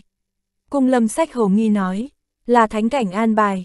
Ngưu Hữu đạo cười ha ha, nhìn chung quanh, tùy tiện mời, trưởng môn nhất định có đề phòng, không biết dẫn theo bao nhiêu người đến. Phát hiện là Ngưu Hữu đạo, cung lâm sách yên tâm không ít, trả lời. Người yên tâm, không có ở bên cạnh, không có ta triệu hoán sẽ không tới gần, bọn hắn sẽ không phát hiện ngươi chưa chết. Hắn bản năng hoài nghi Ngưu Hữu đạo là chấp hành nhiệm vụ bí mật gì của thánh cảnh. Truyền tin cho ta là ngươi, Ngưu Hữu đạo, là ta, rất ngoài ý muốn sao? Đã như thế, cung lâm sách càng ngày càng xác nhận bản thân suy đoán, hỏi. Xảy ra chuyện gì, thánh cảnh an bài ngươi giả chết, ý muốn làm gì? Ngưu Hữu đạo cười khổ nói, ta nói trưởng môn, ta đã nói ta là giả chết thoát thân, không có bất kỳ quan hệ gì tới thánh cảnh, cửu thánh cần gì phải để ta giả chết chứ? Nói rõ a ta là từ thánh cảnh trốn ra, trốn ra, nói nhẹ nhàng như vậy. Sắc mặt cung lâm sách nghiêm túc, như trưởng lão, chuyện cười này một chút cũng không buồn cười, bản tọa đang nói chuyện đứng đắn với ngươi. Như hữu đạo buồn bực, thời buổi này nói thật cũng không ai tin. Trưởng môn, ta cần mở loại chuyện cười này sao? Cung lâm sách không tin, thánh cảnh có thể tùy ý người muốn chạy là chạy sao? Cái vấn đề này, Ngưu Hữu đạo bất tiện giải thích, hàm hồ nói. Tự nhiên là nội bộ thánh cảnh có người hiệp trợ, cung lâm sách, Như trưởng lão, loại sự tình này không nói đùa được, đến tột cùng xảy ra chuyện gì. Người ta vào trước là chủ, Ngưu Hữu đạo thẳng thắn luôn, hỏi ngược lại. Trưởng môn hỏi ta chuyện gì xảy ra, ta ngược lại cũng muốn hỏi trưởng môn một chút, như thế nào, vừa nghe được tin ta qua đời, liền bắt đầu bắt nạt Mao Lư Sơn Trang ta không người. Thân sắc của cung lâm sách cứng đờ, nói đến cái này, vậy thì có chút lúng túng, không nghĩ tới nghiêu Hữu đạo lại giả chết. Ngươi là người thông minh, có chút sự tình trong lòng mọi người rõ ràng, giải thích cũng không có ý nghĩa, bây giờ ngươi đã không chết, ta sẽ cho ngươi cái bản giao. Hiện tại trước tiên nói sự tình của ngươi, ngươi đột nhiên chạy đến tìm ta, đến tột cùng là vì chuyện gì. Nghiêu Hữu đạo nhìn hắn, tay thành chộp, một tảng đá dưới cây bị hút tới trong tay, đưa cho cung lâm sách. Từ thánh cảnh mang ra món quà nhỏ đưa cho trưởng môn, trưởng môn hẳn sẽ không ghét bỏ. Tảng đá, cung lâm sách không rõ, ước lượng một thoáng, phát hiện tảng đá trọng lượng không bình thường, thi pháp điều tra, phát hiện bên trong có đồ vật khác. Không vội mở ra, nơi này quá dễ thấy. Ngưu Hữu đạo ngăn cản, phất tay ra hiệu, mời trưởng môn đi theo ta. Cung lâm sách không biết hắn muốn làm gì, theo hắn bay lượn, rời ở giữa sườn núi mới phát hiện nơi này có một hang động thiên nhiên, có thể thấy trước đó đối phương đã điều tra địa hình phụ cận. Ngưu Hữu đạo trực tiếp chui vào động, cung lâm sách đứng ở cửa động có chút do dự, hơi cảnh giác, không dám dễ dàng tiến vào. Yên tâm, ta không đến nỗi dụ trưởng môn tới nơi này mưu hại, hại chết trưởng môn chỉ làm cho ta thêm phiền phức, không có bất kỳ chỗ tốt. Ngưu Hữu đạo ở trong động nói, cung lâm sách một tay nắm thiên kiếm phủ đề phòng, sau đó chậm rãi đi vào động, đồng thời pháp lực phóng ra ngoài điều tra. Hang động cũng không sâu, còn có mùi dã thú, có thể thấy trước kia là xào huyệt của dã thú nào đó. Đến cuối hang động, cung lâm sách vẫn không có phát hiện dị thường, hỏi. Ngươi đến cùng muốn làm gì? Ngưu Hữu đạo, lễ vật đưa cho trưởng môn, trưởng môn có thể mở ra xem. Nghe vậy, cung lâm sách nắm tảng đá ở trong tay nâng nâng, bắt đầu thi pháp phá tan, cũng không dám đột nhiên phát lực, mà từ từ phá, ở dưới loại tình hình này, hắn không thể không cẩn thận, để phòng vật trong tay có trò lừa. Vết dạn nứt vừa xuất hiện, lập tức có ánh sáng màu đỏ phóng ra, cung lâm sách kinh dị, tiếp tục thi pháp, vỏ tảng đá bóc ra, lộ rõ đồ vật có hồng quang di động. Mới đầu không rõ vật gì, nhưng sau khi nhìn kỹ, chú ý đến cuống quả, con người của cung lâm sách co lại, kinh nghi bất định nói. Này, này, này là vật gì, Ngưu Hữu đạo nhắc nhở, chỉ ở vô lượng viên, tu sĩ thiên hạ người người đều muốn, lẽ nào trưởng môn còn đoán không ra là cái gì. Cung lâm sách thất thanh, vô lượng quả, tay hắn có chút run rẩy có phải đồ vật trời sinh hay không, đồ vật đã ở trên tay hắn, tự tay nhiên có thể nhận biết. chương 1739, bái một người làm sư, thiên địa có thể thấy một. Tâm tình hắn kích động một hồi lâu mới bình phục xuống, thấy hồng quang của cấm vật tiết ra ngoài, lo lắng có sơ sẩy, tay buông xuống, cấp tốc lấy ống tay áo che lấp, tránh cho hồng quang phóng ra ngoài, thanh âm kích động nói. Ngươi từ đâu lấy được đồ vật này? Ngưu Hữu đạo, nếu không phải vì đồ vật này, ta cần giả chết thoát thân sao? Không giấu trưởng môn, đồ vật này là ta lợi dụng thân phận đốc tra trộm từ trong vô lượng viên ra. Cung lâm sách cả kinh nói, ngươi điên rồi sao, muốn hại chết tử kim động sao? Sợ chết, Ngưu Hữu đạo vui vẻ, ngón tay chỉ đồ vật ở trong tay áo của đối phương. Ta chỉ hỏi trưởng môn một câu, vật này, người muốn hay không? Cung lâm sách tê cả ra đầu, tâm tình khó có thể tự kiềm chế, hô hấp gấp gáp, thậm chí quên đề phòng, trong miệng phát khô, hầu kết nhún nhún. Muốn hay không, này thực sự là lựa chọn gian nan, hắn biết rõ, lưu lại vật này sẽ là hậu quả như thế nào, một khi để lộ tin tức, vạn kiếp bất phục. Đừng tưởng rằng đột phá đến Nguyên Anh Kỳ là có thể làm gì cũng được, cửu thánh đột phá đến Nguyên Anh Kỳ đã bao nhiêu năm, lấy thực lực vượt lên thiên hạ, không phải ai vừa đột phá đến Nguyên Anh Kỳ liền có thể khiêu chiến, vật này là một phiền phức đòi mạng. Không muốn, đồ vật tu sĩ tha thiết ước mơ, bảo vật đột phá đến Nguyên Anh Kỳ, chỉ dựa vào một điểm trường sinh bất tử, liền để người khó có thể chống cự được dụ hoặc. Nếu nghĩ đến mà không chiếm được thì thôi, nhưng bây giờ bảo vật ở trước mắt, hơn nữa ở trong tay hắn, để hắn làm sao có thể cự tuyệt dụ hoặc to lớn như vậy. Hắn nằm mơ cũng không nghĩ tới, đột nhiên nhìn thấy Ngưu Hữu Đạo đã chết, còn ném ra một đồ vật làm hắn khó có thể lựa chọn như thế. Tất cả tất cả, đều thoáng như giấc mộng, cung lâm sách không phải người bình thường, sau khi kích động, rất nhanh nỗ lực để mình bình tĩnh lại, hỏi. Bảo vật như vậy, người cam lòng đưa cho ta. Ngưu Hữu Đạo, một cây 12 quả, hái một quả là chết, hái toàn bộ cũng là chết, đổi lại trưởng môn sẽ làm như thế nào? thứ này ăn một quả và ăn 12 quả có gì khác biệt sao? Đưa trưởng môn một quả lại thế nào? Cung lâm sách chấn kinh, có thể nói là thần sắc ngổn ngang. Ngươi hái sạch cấm vật ở trong vô lượng viên, cửu thánh có thể bỏ qua sao? Ngưu hữu đạo, trưởng môn yên tâm, hiện tại trên cây treo 12 quả giả, trong lúc nhất thời không phát hiện được, bây giờ coi như phát hiện cũng đã chậm, ta từ lâu bố cục ở trong thánh cảnh, một khi sự tình phát sinh, cửu thánh muốn hoài nghi đệ tử, cũng không hoài nghi đến trên đầu ta. Nói đến đây, ý vị sâu xa nhắc nhở một câu. Trưởng môn đừng quên, ta đã chết rồi. Cung lâm sách hô hấp nghiêm nghị, ánh mắt lấp lóe nhìn Ngưu Hữu Đạo, ngón tay nắm thiên kiếm phủ có chút bất an, lại hỏi. Ngươi xác nhận sẽ không hoài nghi đến trên đầu ngươi. Ngưu Hữu Đạo mỉm cười. Phản ứng của trưởng môn làm ta có chút bất an, trưởng môn không phải là muốn đoạt bảo vật sau đó giết người diệt khẩu chứ. Này không phải là biện pháp tốt gì, ta nói rồi, trong thánh cảnh có người giúp ta rời đi, sau đó lấy danh nghĩa phiêu miểu các mời trưởng môn qua. Tạm thời bất luận trưởng môn có thể giết được ta hay không, một khi ta xảy ra sự tình, trưởng môn cho rằng có thể thần không biết quỷ không hay sao. Ta vẫn là câu nói kia, vật này, người muốn hay không? Dục vọng con người, có lúc là sự tình rất đáng ghét, biết rõ không thể đi ham muốn, nhưng lại khó có thể chống cự. Vô lượng quả, đồ vật này thực làm người không cách nào chống cự, này là bảo vật giúp người vượt qua rãnh trời đến bỉ ngạn mộng tưởng. Đối với rất nhiều người mà nói, chỉ cần có thể đạt được, đáng giá trả giá bất thứ gì, đối với cung lâm sách hắn mà nói, cũng không ngoại lệ. Dục vọng trần trụi quá khó coi, người đối nhân xử thế luôn muốn tìm đồ vật gì đến che giấu, cung lâm sách cũng không ngoại lệ, hắn than thở. Nếu như ta nhận lấy vật này, sẽ để tử kim động rơi vào cảnh vạn kiếp bất phục, không còn mặt mũi nào đối mặt liệt tổ liệt tông của tử kim động. Ngưu hữu đạo, cũng có khả năng dẫn dắt tử kim động đến một độ cao mới, làm dạng dỡ tổ tông, để các đời tiên sư của tử kim động mỉm cười nơi chín suối.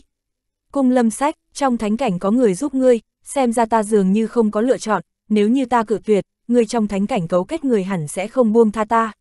Ngưu hữu đạo, cơ hội trước nay chưa từng có, bây giờ ở trong tay trưởng môn, cầm lên hay thả xuống, phải xem khí phách của trưởng môn thế nào. Lúc trước tam đại phái của Yên Quốc đều có ý mời chào ta, chỉ có trưởng môn trực tiếp cho vị trí trưởng lão, lấy khí phách của trưởng môn nhất định có thể làm ra lựa chọn sáng suốt. Cung lâm sách, ta cầm xuống vật này, chính là một cái thóp to lớn ở trên tay ngươi, sau này có phải bị ngươi quản chế hay không? Ngưu hữu đạo, trưởng môn lo xa rồi, ta không phải cũng có thóp ở trên tay trưởng môn sao, ta sao dám làm bậy, sẽ không dám bức trưởng môn cái gì. Dựa vào uy hiếp khó có thể lâu dài, mọi người lợi ích nhất trí mới là phương pháp lâu dài. Cung lâm sách, vì sao phải cho ta vật này? Bằng dụ hoặc của vật này, người có thể tặng cho người càng có thực lực. Ngưu hữu đạo, tặng cho người càng có thực lực, không bằng tặng cho người càng thích hợp. Lợi ích là một mặt, thứ hai, căn cơ thế lực của ta đều ở Yên Quốc, ta sẽ không vì bản thân mà không để ý người khác, người của ta cần một lý do thích hợp, hợp lý hơn nữa không dẫn người hoài nghi tiếp tục ở lại Yên Quốc. Tiếp tục hợp tác với Tử Kim Động, xác thực mà nói, là tiếp tục hợp tác với cung trưởng môn, chỗ tốt rất rõ ràng. Yên Quốc đã có hoàn cảnh kinh doanh tốt, không cần đi địa phương khác bắt đầu lần nữa, người Mao Lư Sơn Trang có thể tiếp tục ở Yên Quốc. Thế lực Nam Châu ở bề ngoài ta chết rồi, Thương Chiêu Tông có thể danh chính ngôn thuận quy thuận tử kim động, hợp tình hợp lý, sẽ không để cho bất kỳ người nào hoài nghi.